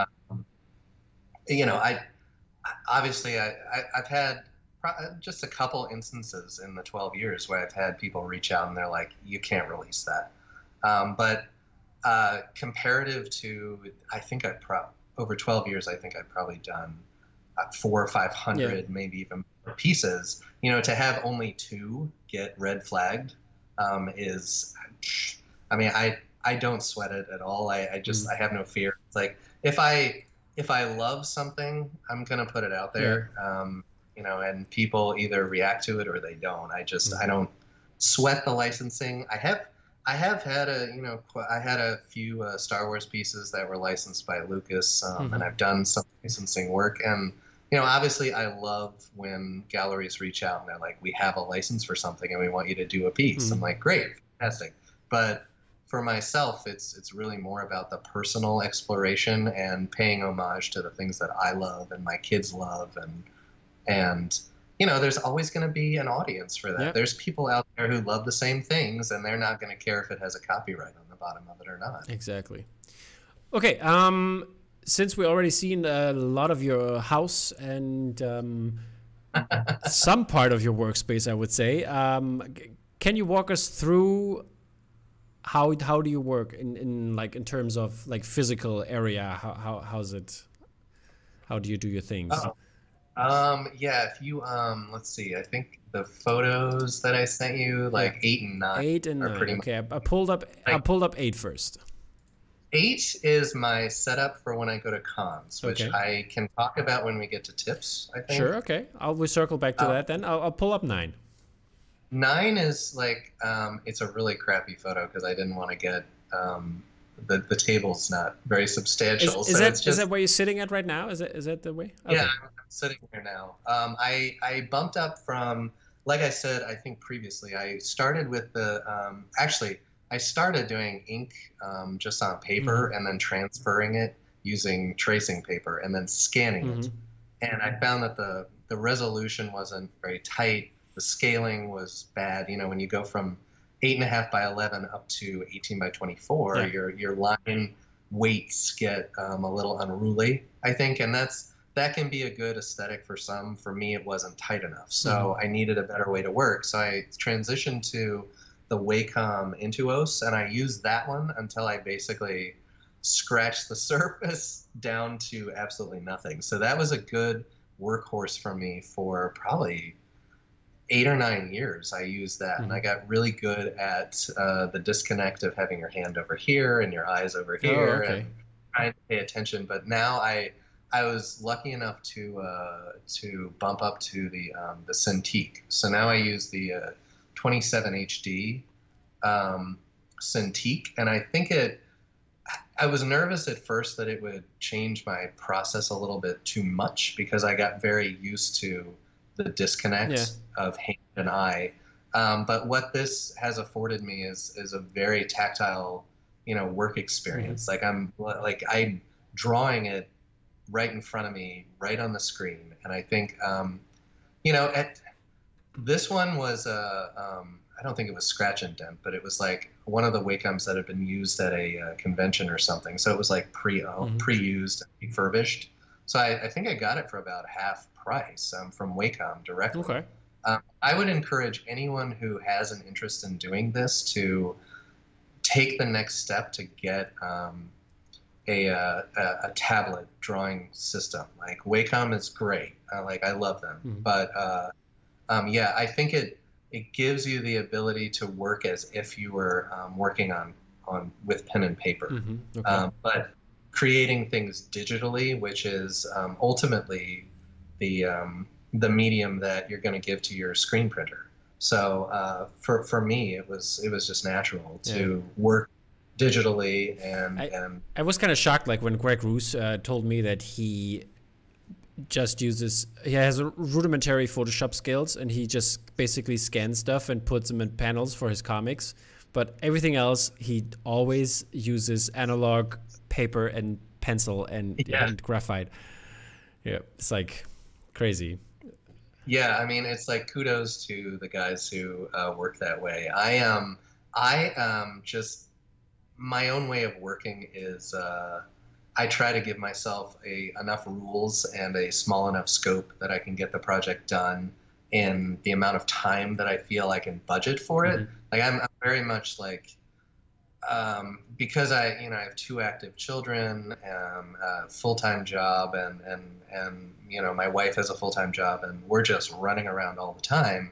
Um, I have X amount of time to work on the project. So for me, it it's it was all about streamlining my process. So mm-hmm. anything that was adding an extra step or you know having to scan a document, having to ink, having to pencil, mm-hmm. having to do this, that, and the other. I mean, I with the Wacom, I'm able to do the pencils, the inking, and the coloring all in one space, um, and it transitions seamlessly to a product that my screen printer can use in the end yeah. for the production. So. Okay, hold on. I'm sorry. My my somebody just called me. I guess because my phone was vibrating like hell. and I was gone for a sec. okay.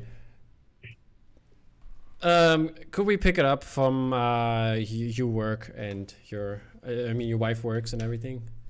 And yeah, um, yeah, both of us have um, full time careers basically. So what, what, what other uh, uh, yeah what, what is your other part of your career then? Um, I am a I'm a graphic designer. Oh, okay. Uh, for it's it's actually for um, the federal government here. Um, I got a, a good desk job. Mm-hmm. Uh, I mean, it definitely pays the bills Interesting. and affords a lot of time off. Uh, yeah, it's um.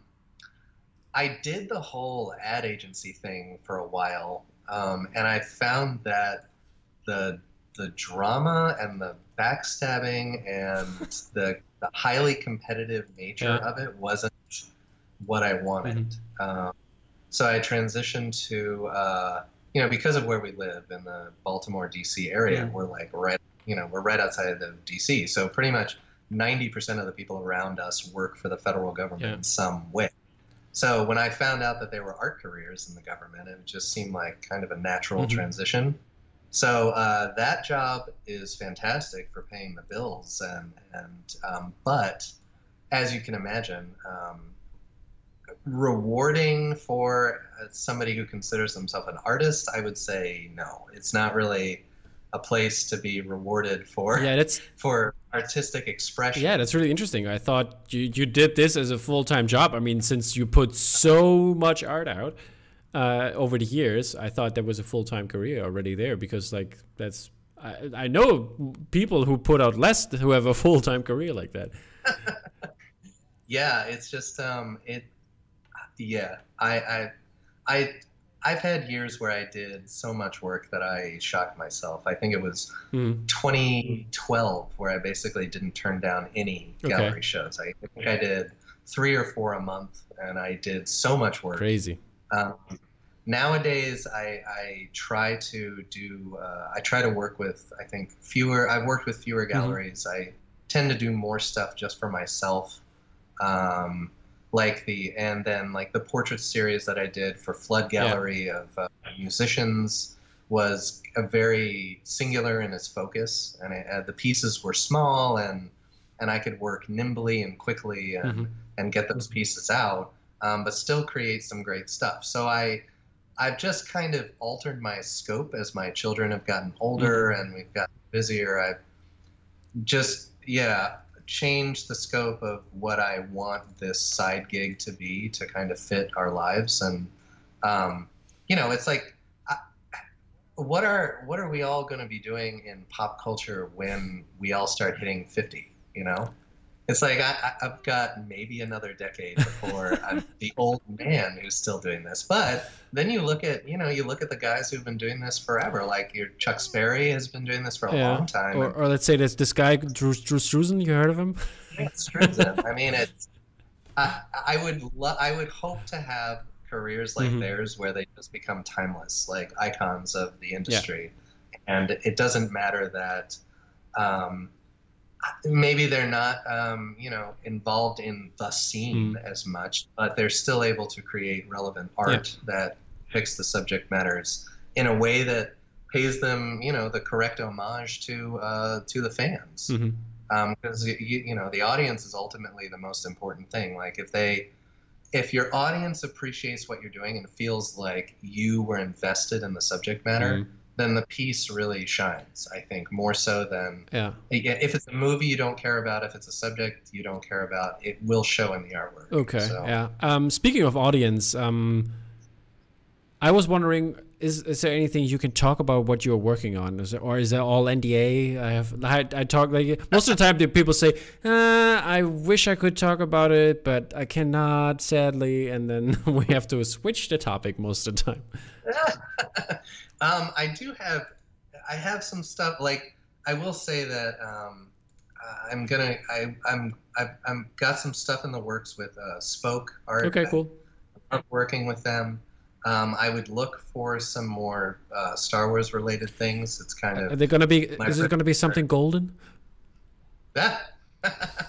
I would look for yeah the uh, the series that I that I did with mm-hmm. them on the gold stock was a uh, the gold foil stock was a transition from the um, uh, engravings that I was doing laser engravings for a okay. while, different uh, materials, mm-hmm. Um, which is where that kind of series of one color prints comes okay. from. Uh, the problem is laser engraving is incredibly expensive and difficult to ship. So, uh, like, I loved doing it, but I don't know if the life of that mm-hmm. project was sustainable for the long term. So, hopefully people are happy with the transition to um, the foil stocks. But uh, what I'm looking to do is just to continue continue that series, um, continue um, paying homage to you know all the great characters and yeah. the droids and and the different uh, you know clone helmets and and uniforms mm-hmm. and uh, like I love the the small details of um, that universe. I think so. Look for stuff for that from that, and um, also, I mean, like uh, I love doing um, Tarantino uh, with them. So mm-hmm. Uh, we are looking to continue um, that series. Okay, cool. Um, I I've done a lot of work with them. Uh, yeah, Wes Anderson and Tarantino, which uh, you know, two completely opposite directors, mm-hmm. but uh, definitely subject matters that I I care about, which is really when I'm looking for but projects. Did, did, uh, speaking of you like did, did you like Once Upon a Time in Hollywood? Uh, yeah, I, I really enjoyed okay. it. Okay, I, I, wasn't a, I wasn't a big fan. Yeah, a lot of people are not. A lot of people didn't like it. Um, I there were there were certain parts in the um, in the the dialogue that I just I really enjoyed. I'm I'm I, I'm just like I'm a sucker for um, like Brad Pitt movies, mm-hmm. so I I really enjoyed his character. I thought it was extremely likable. Um, the the end of the movie was very very shocking, but not out of character for Tarantino. Yeah, I think that was the Tarantino part of the movie. Yeah, um, I just I, I thought it was fun. Like it really it doesn't it doesn't for you know admittedly I'm I'm no movie critic. I'm like more so like did the movie give me a good yep. time for two hours? And I go, yes, it did. So I, um, I liked it. Um, I wouldn't say it's my favorite Tarantino film, yeah. but I didn't, mm-hmm. I didn't hate it. Okay.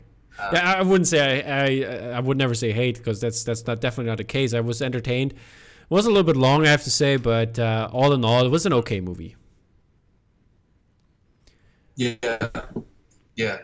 Um, so I would, yeah, we were some more stuff like that, and I yeah, I'm uh, the thing is um, right now a lot of the galleries I think are um, because of the whole COVID thing, mm-hmm. um, galleries are, are kind of looking for content.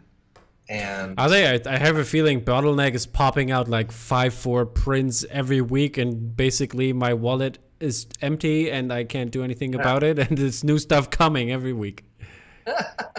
yeah, I am. Um, I, I struggle with um, with uh, you know how much is too much to put out. Yeah.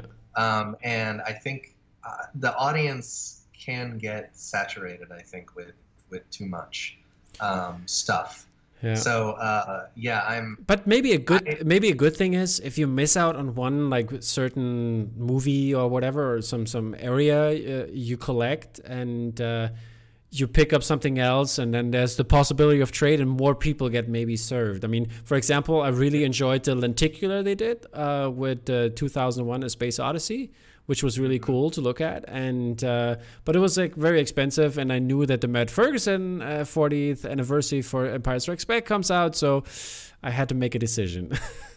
right. It, do you find that it's still? Um, do you sit online and just refresh, refresh, refresh? Like, it is, is it as hard to get the prints? Um, credit to Bottleneck in this case again, since they um, tend to do like bottle box like email kind of blast. So you have like a certain pre-sale and they always do group pre-sales so you have a good chance of getting it i, I actually got both variants of this of the the, the english and the japanese one uh, of the the empire strikes back one yeah.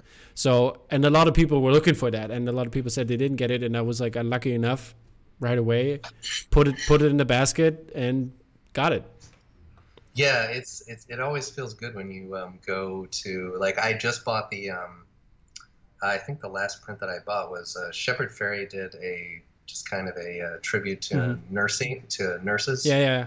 Um, he put out one. Uh, I think it was the first one he did, not the second one. I completely missed on. Yeah. But um, my experience with him and uh, and buying prints is like from the last print I think I bought from him was probably seven or eight years mm-hmm.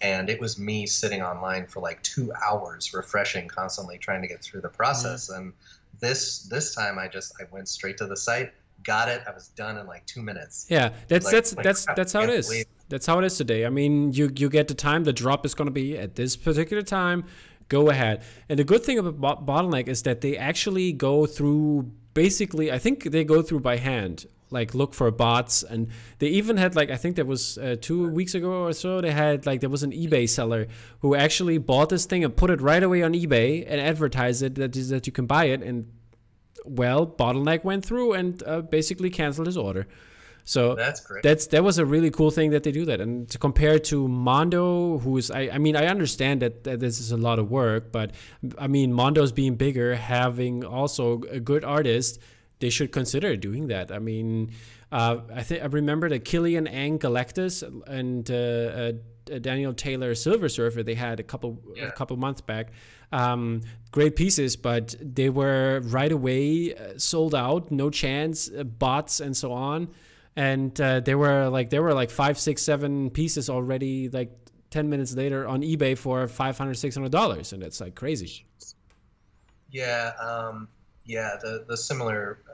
Uh, yeah, I've had so many of those experiences where you're like, you know, I if if I had just gotten it, I could have saved 500 bucks on the on the cost of this print. Mm-hmm. It's like, how much do I really want this print? Yeah. Um, is it going to hang in my house forever, or am I just going to mm-hmm. put it into a flat file? And I've I've gotten really selective. Just uh, mm-hmm. you know, when I first started this um, collecting, I tried to, you know, I was a completist. Mm-hmm. So I hmm. tried to buy every single poster that came out. And if I missed one, it was the end of the world. And it was just, it was too much stress. Mm-hmm. And I was spending a lot of money. And I found that uh, 90% of it was going. And so I've just gotten like very selective. And yeah, I think, um, you know, I would rather trade with a real person mm-hmm. um, who has the print. I would like to, um, yeah, trading with a real person, calling the artist, um, supporting the artist mm-hmm, more mm-hmm. so. Um, I think is is really important. Yeah, this, that's that's that was like I, I sold my I had a D, DKNG infographic for Spider Man and I sold that to uh, um, what's his name Vittorio Conza, glaube ich. I, I, think that was his name. Um, so shout out to you. So he got my DKNG Spider Man poster and. Um, it's like I, I told him, yeah, I've I don't uh, some uh, for, for some reason I have like a bad feeling about parting with it. So please please make sure it goes to a good home, basically. So yeah. you know, this, it's like it's like a weird feeling. But if you if you buy from a page, you don't have that feeling, and interacting with the, with the actual person is really a, a nice thing to do. Yeah, yeah. Okay. Um, I wanted to look into the future a little bit. Um, I'm gonna skip all like uh, the the work in progress stuff right now because I think we touched a lot uh, on that, and uh, I think we could go on for another two hours if we do that. Right. and I don't want to. I don't want to like the viewers to go uh, like crazy because like you know how it is. Viewers tend to watch only 15 minutes of a certain thing, and uh, let's not overextend here. Um, but I wanted to look in the future, as I said. Um, is there any IP or some idea you want to work on? Is there uh, like like an old or new movie franchise you're looking forward to, or is there some music project you want to move on, or maybe even sports? Because I think sports is uh, has a lot of uh, different uh, interesting aspects in the future as well. Yeah, I um I uh, got the opportunity to work with a gallery that does a lot of sports um, posters, which I think is kind of a, um, in a way, um, you know, I can't speak directly to it because I don't have a lot of sports posters in my home. But uh, working on them, I, it's a it's a totally different genre, and it has a totally different audience than this pop culture.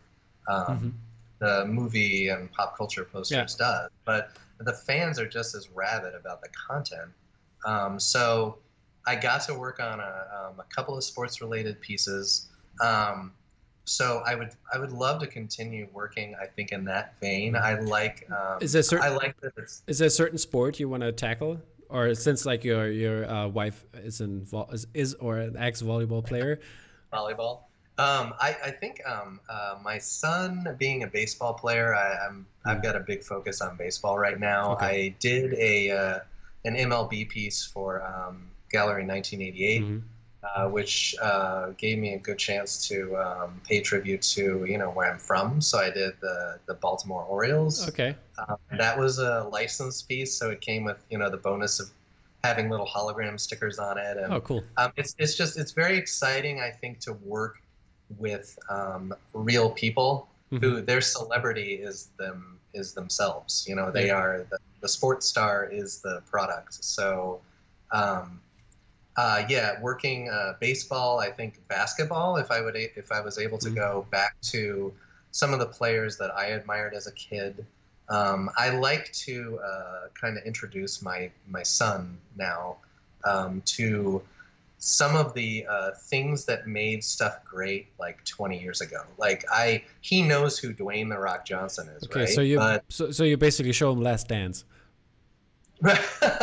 yeah, I mean, like I, I'm like, you want to know why Michael Jordan is so great? Um, here's video of him shooting a free throw with his eyes closed in the middle of a game mm. and making a shot and like uh, and you know you want to know who uh, the rock was before he was you know international movie star. Here is the rock when he was very young dropping what is called the people's elbow oh yeah i remember that. He goes what? He was th- he was this guy too? Yeah i mean it was just like so i think going back to those things is kind of a logical step in um, in popular culture is mm-hmm. you know let's go back and investigate um, music. Let's go back and investigate sports and, and see what kind of content is there. Um, there are some galleries doing a pretty good job at sports and music right now. Did you um, did you see the the cards that Matt Taylor and some some other people did? They had like this baseball cards. Oh yeah, I'm currently co- I'm I'm collecting some of those Topps cards. Yeah, um, I think that's I think that's a great series. Um, uh, yeah, it's uh, that type of thing. I, I think Topps is really on to something. Mm-hmm. Um, getting um, artists who are well known in a field other than uh, sports memorabilia and having them reimagine these things, yeah. I think is a really good step to take. And it brings in a whole nother audience to this thing. Like people will go well, I'm not really a big fan of uh, Cal Ripken junior mm-hmm. but Matt Taylor did a Cal Ripken Jr. card. I need so that. I think I'm gonna buy it. yeah, it's like so. I yeah, I, am mm. already into that. I think I have four or five. More. I'm waiting for them to ship. Okay. It's a, Very it's a time division thing. Yeah. Yeah. How much? How much were they, by the way? I, I didn't see it. Like the cards. Yeah. I wonder how much uh, was one are, card? They are twenty dollars for, okay. for each card. They have like AP versions, which I don't know what that means, but they have 20 APs okay. of each card, and those are $300 a piece. Oh, okay. Yeah. So uh, it's it's interesting um, uh, to see because I I can see what they're doing. They're they are really preying upon people who are collectors of these things. So what they'll do is they'll mm-hmm. release the card for 14 days, and so yeah. there's a countdown. So you know when you're about to lose it. Okay. So you buy it and then there's another website that tells you out of the 14 days how many were sold for that particular. So the ones Ooh, like, okay. you know, you'll get like Mike Trout wow. was was 14 days and they sold 90,000 cards, and then you'll go and they had Jackie Robinson for 14 days and yeah. sold 25,000 cards. Yeah. So you like now you can tell kind of relatively wow. what value of what you're buying. Yeah, that's so crazy. It's like a whole nother a whole nother thing to interesting interesting yeah Okay, um, one of my favorite questions I always like to ask the artists is uh, which classical artist would you like to see uh, make a movie poster? I've, I've always been, as an illustrator, I'm, I've always been a huge fan of the uh, Renaissance masters. I know that sounds a little predictable, but. Um, no, it's fine. it's fine. If you were to go back and say, I, I think if if you were to go back and like let's say you go to Da Vinci and you say I, I need you to do this poster, I think because of his like brilliance and kind of effortless perfection, mm-hmm. it would be a very simple thing. If you went then over to like Michelangelo and said, I need you to create this poster, mm. I believe he would probably loathe the process, yeah. but be very, very good at it. How? what, what? What? Do you do? I mean, I, I pulled up uh, like uh, uh the the Holy Family um, painting right, of him. and uh, what kind of franchise would he do, or which kind of movie? I think um, he would. I don't know if he, because his stuff is so figure. It's figure. It's uh, like he he works. I don't know if he necessarily works in represented representational drawing. Mm-hmm. Um, so like his portraiture, maybe not so much. So I would imagine he would be able to interpret subject matter. Um, in a very figural way. Like he would, uh, very dynamic posing of characters, and um, his color choices obviously are very like dramatic. Mm-hmm. It's like you know mixing blues with hot pinks and like yellows and oranges, and um, but the way that he um, kind of frames things, like I, I did, um, I mentioned it to you earlier, but I did a series for my first small group show at mm-hmm. 88 where I literally paid homage to Michelangelo with a series that I did called Sistine Pop, yeah. which has various um, pop culture characters seated in the like the thrones that he did that are all around the border of the uh, Sistine Chapel. Yeah. Um, so I did a series like that in the hopes of sort of introducing the concept of you know what how would like a Renaissance yeah. master tackle kind of the subject matter that we have today. So like Optimus Prime sitting in a Sistine Chapel throne is like uh, I take absurd, that. Absurd, but yeah, I think it. I think it worked. But like, I would. Or did... he's always been a personal favorite of mine because he was. I imagine him being so temperamental. Or I could. So I, I could imagine the Tiger King. Yeah. oh my god, he'd be like grumbling the entire time about how stupid it was. That was crazy, huh? yeah. Um, so yeah, that I think yeah, that's a great question. But yeah, I would I would love to see one of them tackle and just utterly kill like the print and just make it. It'd be so awesome. okay, thank you. Um, so we're almost uh, down to our last question, and okay. uh, now we're at the beginners beginners tips. Um, you already mentioned a couple aspects of what to look for, and I was wondering right. if you have, in terms of hardware, software, or utensils that should be used, or even social media. What uh, I mean, social media we touched a little bit, but you can elaborate on that if you want to. Yeah, we did. I mean, I think um, for beginners, I, I definitely would say invest the time in putting your portfolio online.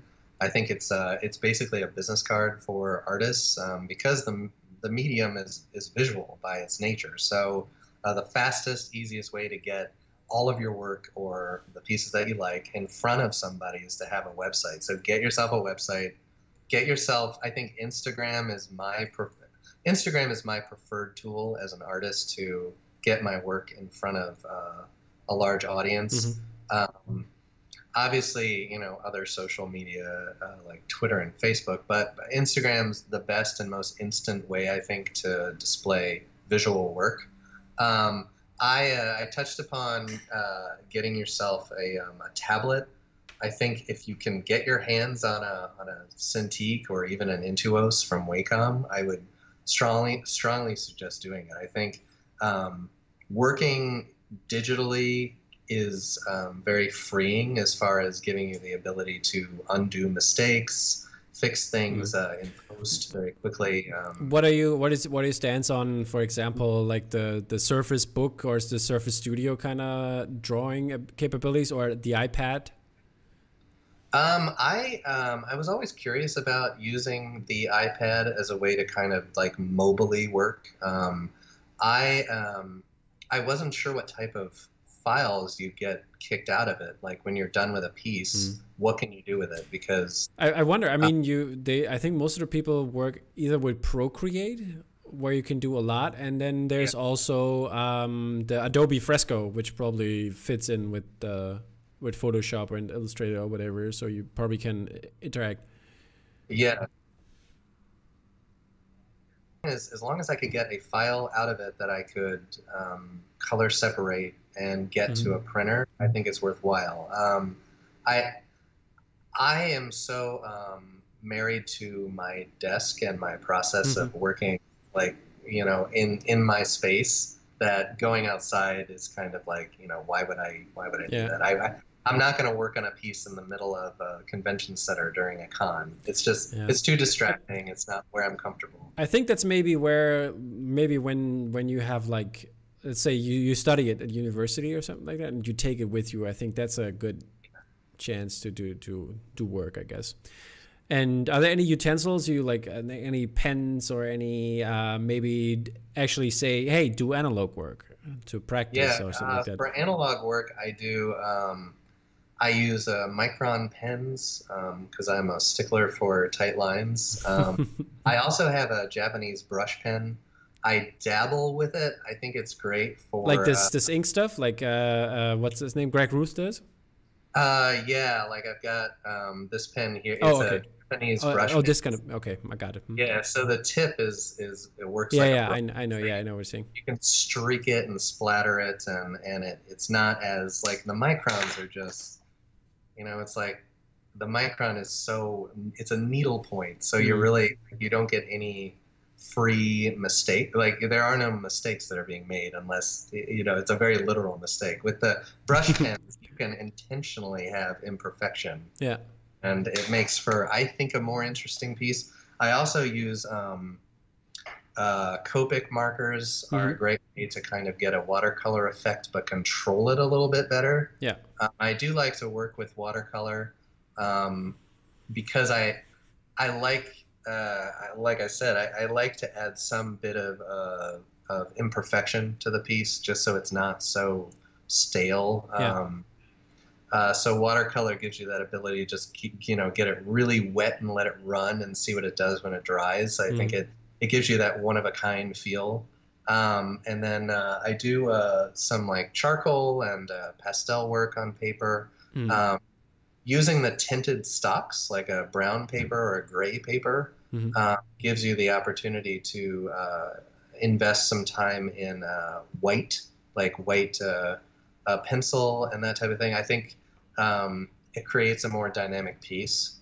Yeah. Um, so like what Gabz does, that one behind you, the John Wick there is like mm-hmm. a perfect example. It's tinted paper. It's he's using both lights and darks and drawing both. Um, mm. Which uh, yeah, I I just like I love to to keep doing originals and and you know work with my hands, yeah. but the the way to uh, to do that same to have that same feel is is to work with a tablet um, and draw like you would. Um, there's a lot of great brushes out there. I can't um, suggest enough to uh, get like the uh, the the Kyle T Webster set of brushes. Yeah, I heard a lot of people talking about those brushes. Yeah, um, Gabz turned me on to him initially, um, but he has since gotten a job with Adobe because his brushes are so good. Mm-hmm. Um, you can get um, they're pressure sensitive, they're uh, angle sensitive. They're mm-hmm. I mean, if if you experiment with them, you can get extremely realistic brush effects that okay. feel uh, just like the real thing.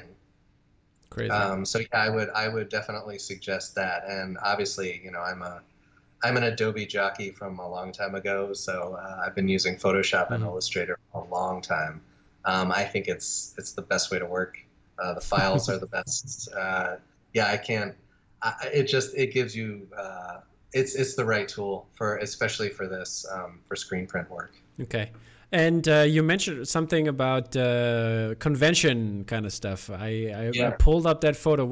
What, what did you wanted to say something about that? So uh, which photo was it? Uh, it's a workspace eight with. Uh, oh, oh, oh, that. Um, I got a um, a suggestion from um, um, uh, from another artist who does a lot of conventions, mm-hmm. uh, probably a dozen or more a year, and his suggestion was to um, get yourself these um, um, acoustic cases. Mm-hmm to protect your um, paper during transport. And uh, having the um, the dolly wheels and the way that it locks and it's hard, it's a hard case. Mm-hmm. There's no fear of uh, getting soft corners or edges uh, getting torn or anything like that. Um, but I uh, I invested in um, this. Uh, there's a larger acoustic case mm-hmm. there which holds my um, 18 by 24 prints in kind of that box uh, portfolio, upright portfolio um, and uh, and then the smaller ones for the smaller prints. But um, if you have interest in going to cons, um, then you know for any artist, I would suggest getting getting yourself a nice, sturdy, rollable case in order to get in and out of there um, without damaging your your goods. Um, so yeah, I, I just wanted to I just wanted to show these because um, it was yeah it was uh, it, it, was daunting to try to figure out how to get so much yeah. paper into uh, space. Um, but this has really um, taken the headache out of that. And I, yeah, don't worry about it anymore. Okay, very good. Okay, um, so we are uh, at the last part of the show, which is you can give shout outs uh, to anybody you like, family, friends, um, your kids, other artists. Go ahead, feel free. You have uh, some time. Not all time in the world, but sometime. um, I would just like to give a, um, a shout out to uh, um, the guys over at Spoke Art. Uh, they've been fantastic to work with for the last, I think, 12 years. Um, yeah. Gallery 1988 has been fantastic. Uh, Nakatomi and Tim Doyle has been a huge supporter of my work. Um, shout out to my kids, Jack and Tori, my wife, Victoria. Um, and I guess um, if you want to look at my work, I have everything that I've ever done since 2008 on my website at joshuabudich.com. But the place to look for um, crops of things I'm working on, uh, process videos, um, originals, and other promotion is uh, my Instagram account, which is uh, jbudich is my tag over there. Perfect. Yeah, I, I will definitely link all of that in uh, the show notes and uh, the, the, the caption and all of that. And uh, do you have also a YouTube channel maybe for the like the the stuff you do, or is that? No, that's a great idea. Okay, I, I did. There you go. Facebook Live video before okay. for a small Facebook group, but yeah, but yeah, so so basically, I showed you how uh, like th- this the program I'm using uh, for the live editing that does the trick for uh, you can basically stream it live. We could have done all this live to YouTube. Oh, that's awesome. So yeah, this, this yeah. is a way to to do it. Because um, yeah, there's a lot of uh, apparently the uh, the young kids are not like the teenagers are getting into people doing Copic marker drawings yep. on YouTube. That's that's what uh, um, Tom Whalen did. He sold them. Yeah. Do you see that? Yeah. Yeah, I, I am just like I'm surprised, but I I've done some uh, art tutoring for some uh, young folks um, around where we live, mm-hmm. and they're all mm-hmm. like, "Why you have so many Copic markers? That's awesome! I love Copics." I'm like, "You've heard of Copic markers? like, Weird, huh?" so uh, yeah, I mean, I would yeah, I would love to do live drawing. I've done one, and it was it's hard to talk and draw at the same time, but it was it went pretty well. Mm. Um, yeah, yeah. Do- Dolly did that also from time to time. He did a couple um, uh, live drawings, and Greg do- does it with muddy colors. I think they do some kind of work like that. So yeah, there's this. I think there's a market for it, and people really enjoy this kind of stuff. And yeah, maybe uh, maybe off camera we can we can figure something out. yeah, yeah, definitely. Okay, uh, thank you for stopping by, Josh. Uh, Josh, it was really a pleasure, and thanks to all the listeners out there and uh, also the viewers. Tune in for our next episode. Uh, in the next week, it's going to be a release episode, and in two weeks, another interview episode. And check us out on uh, Instagram under @DropMagOfficial and uh, subscribe on YouTube as well for the videos. We enjoy giving you great content. Take care, guys. Bye.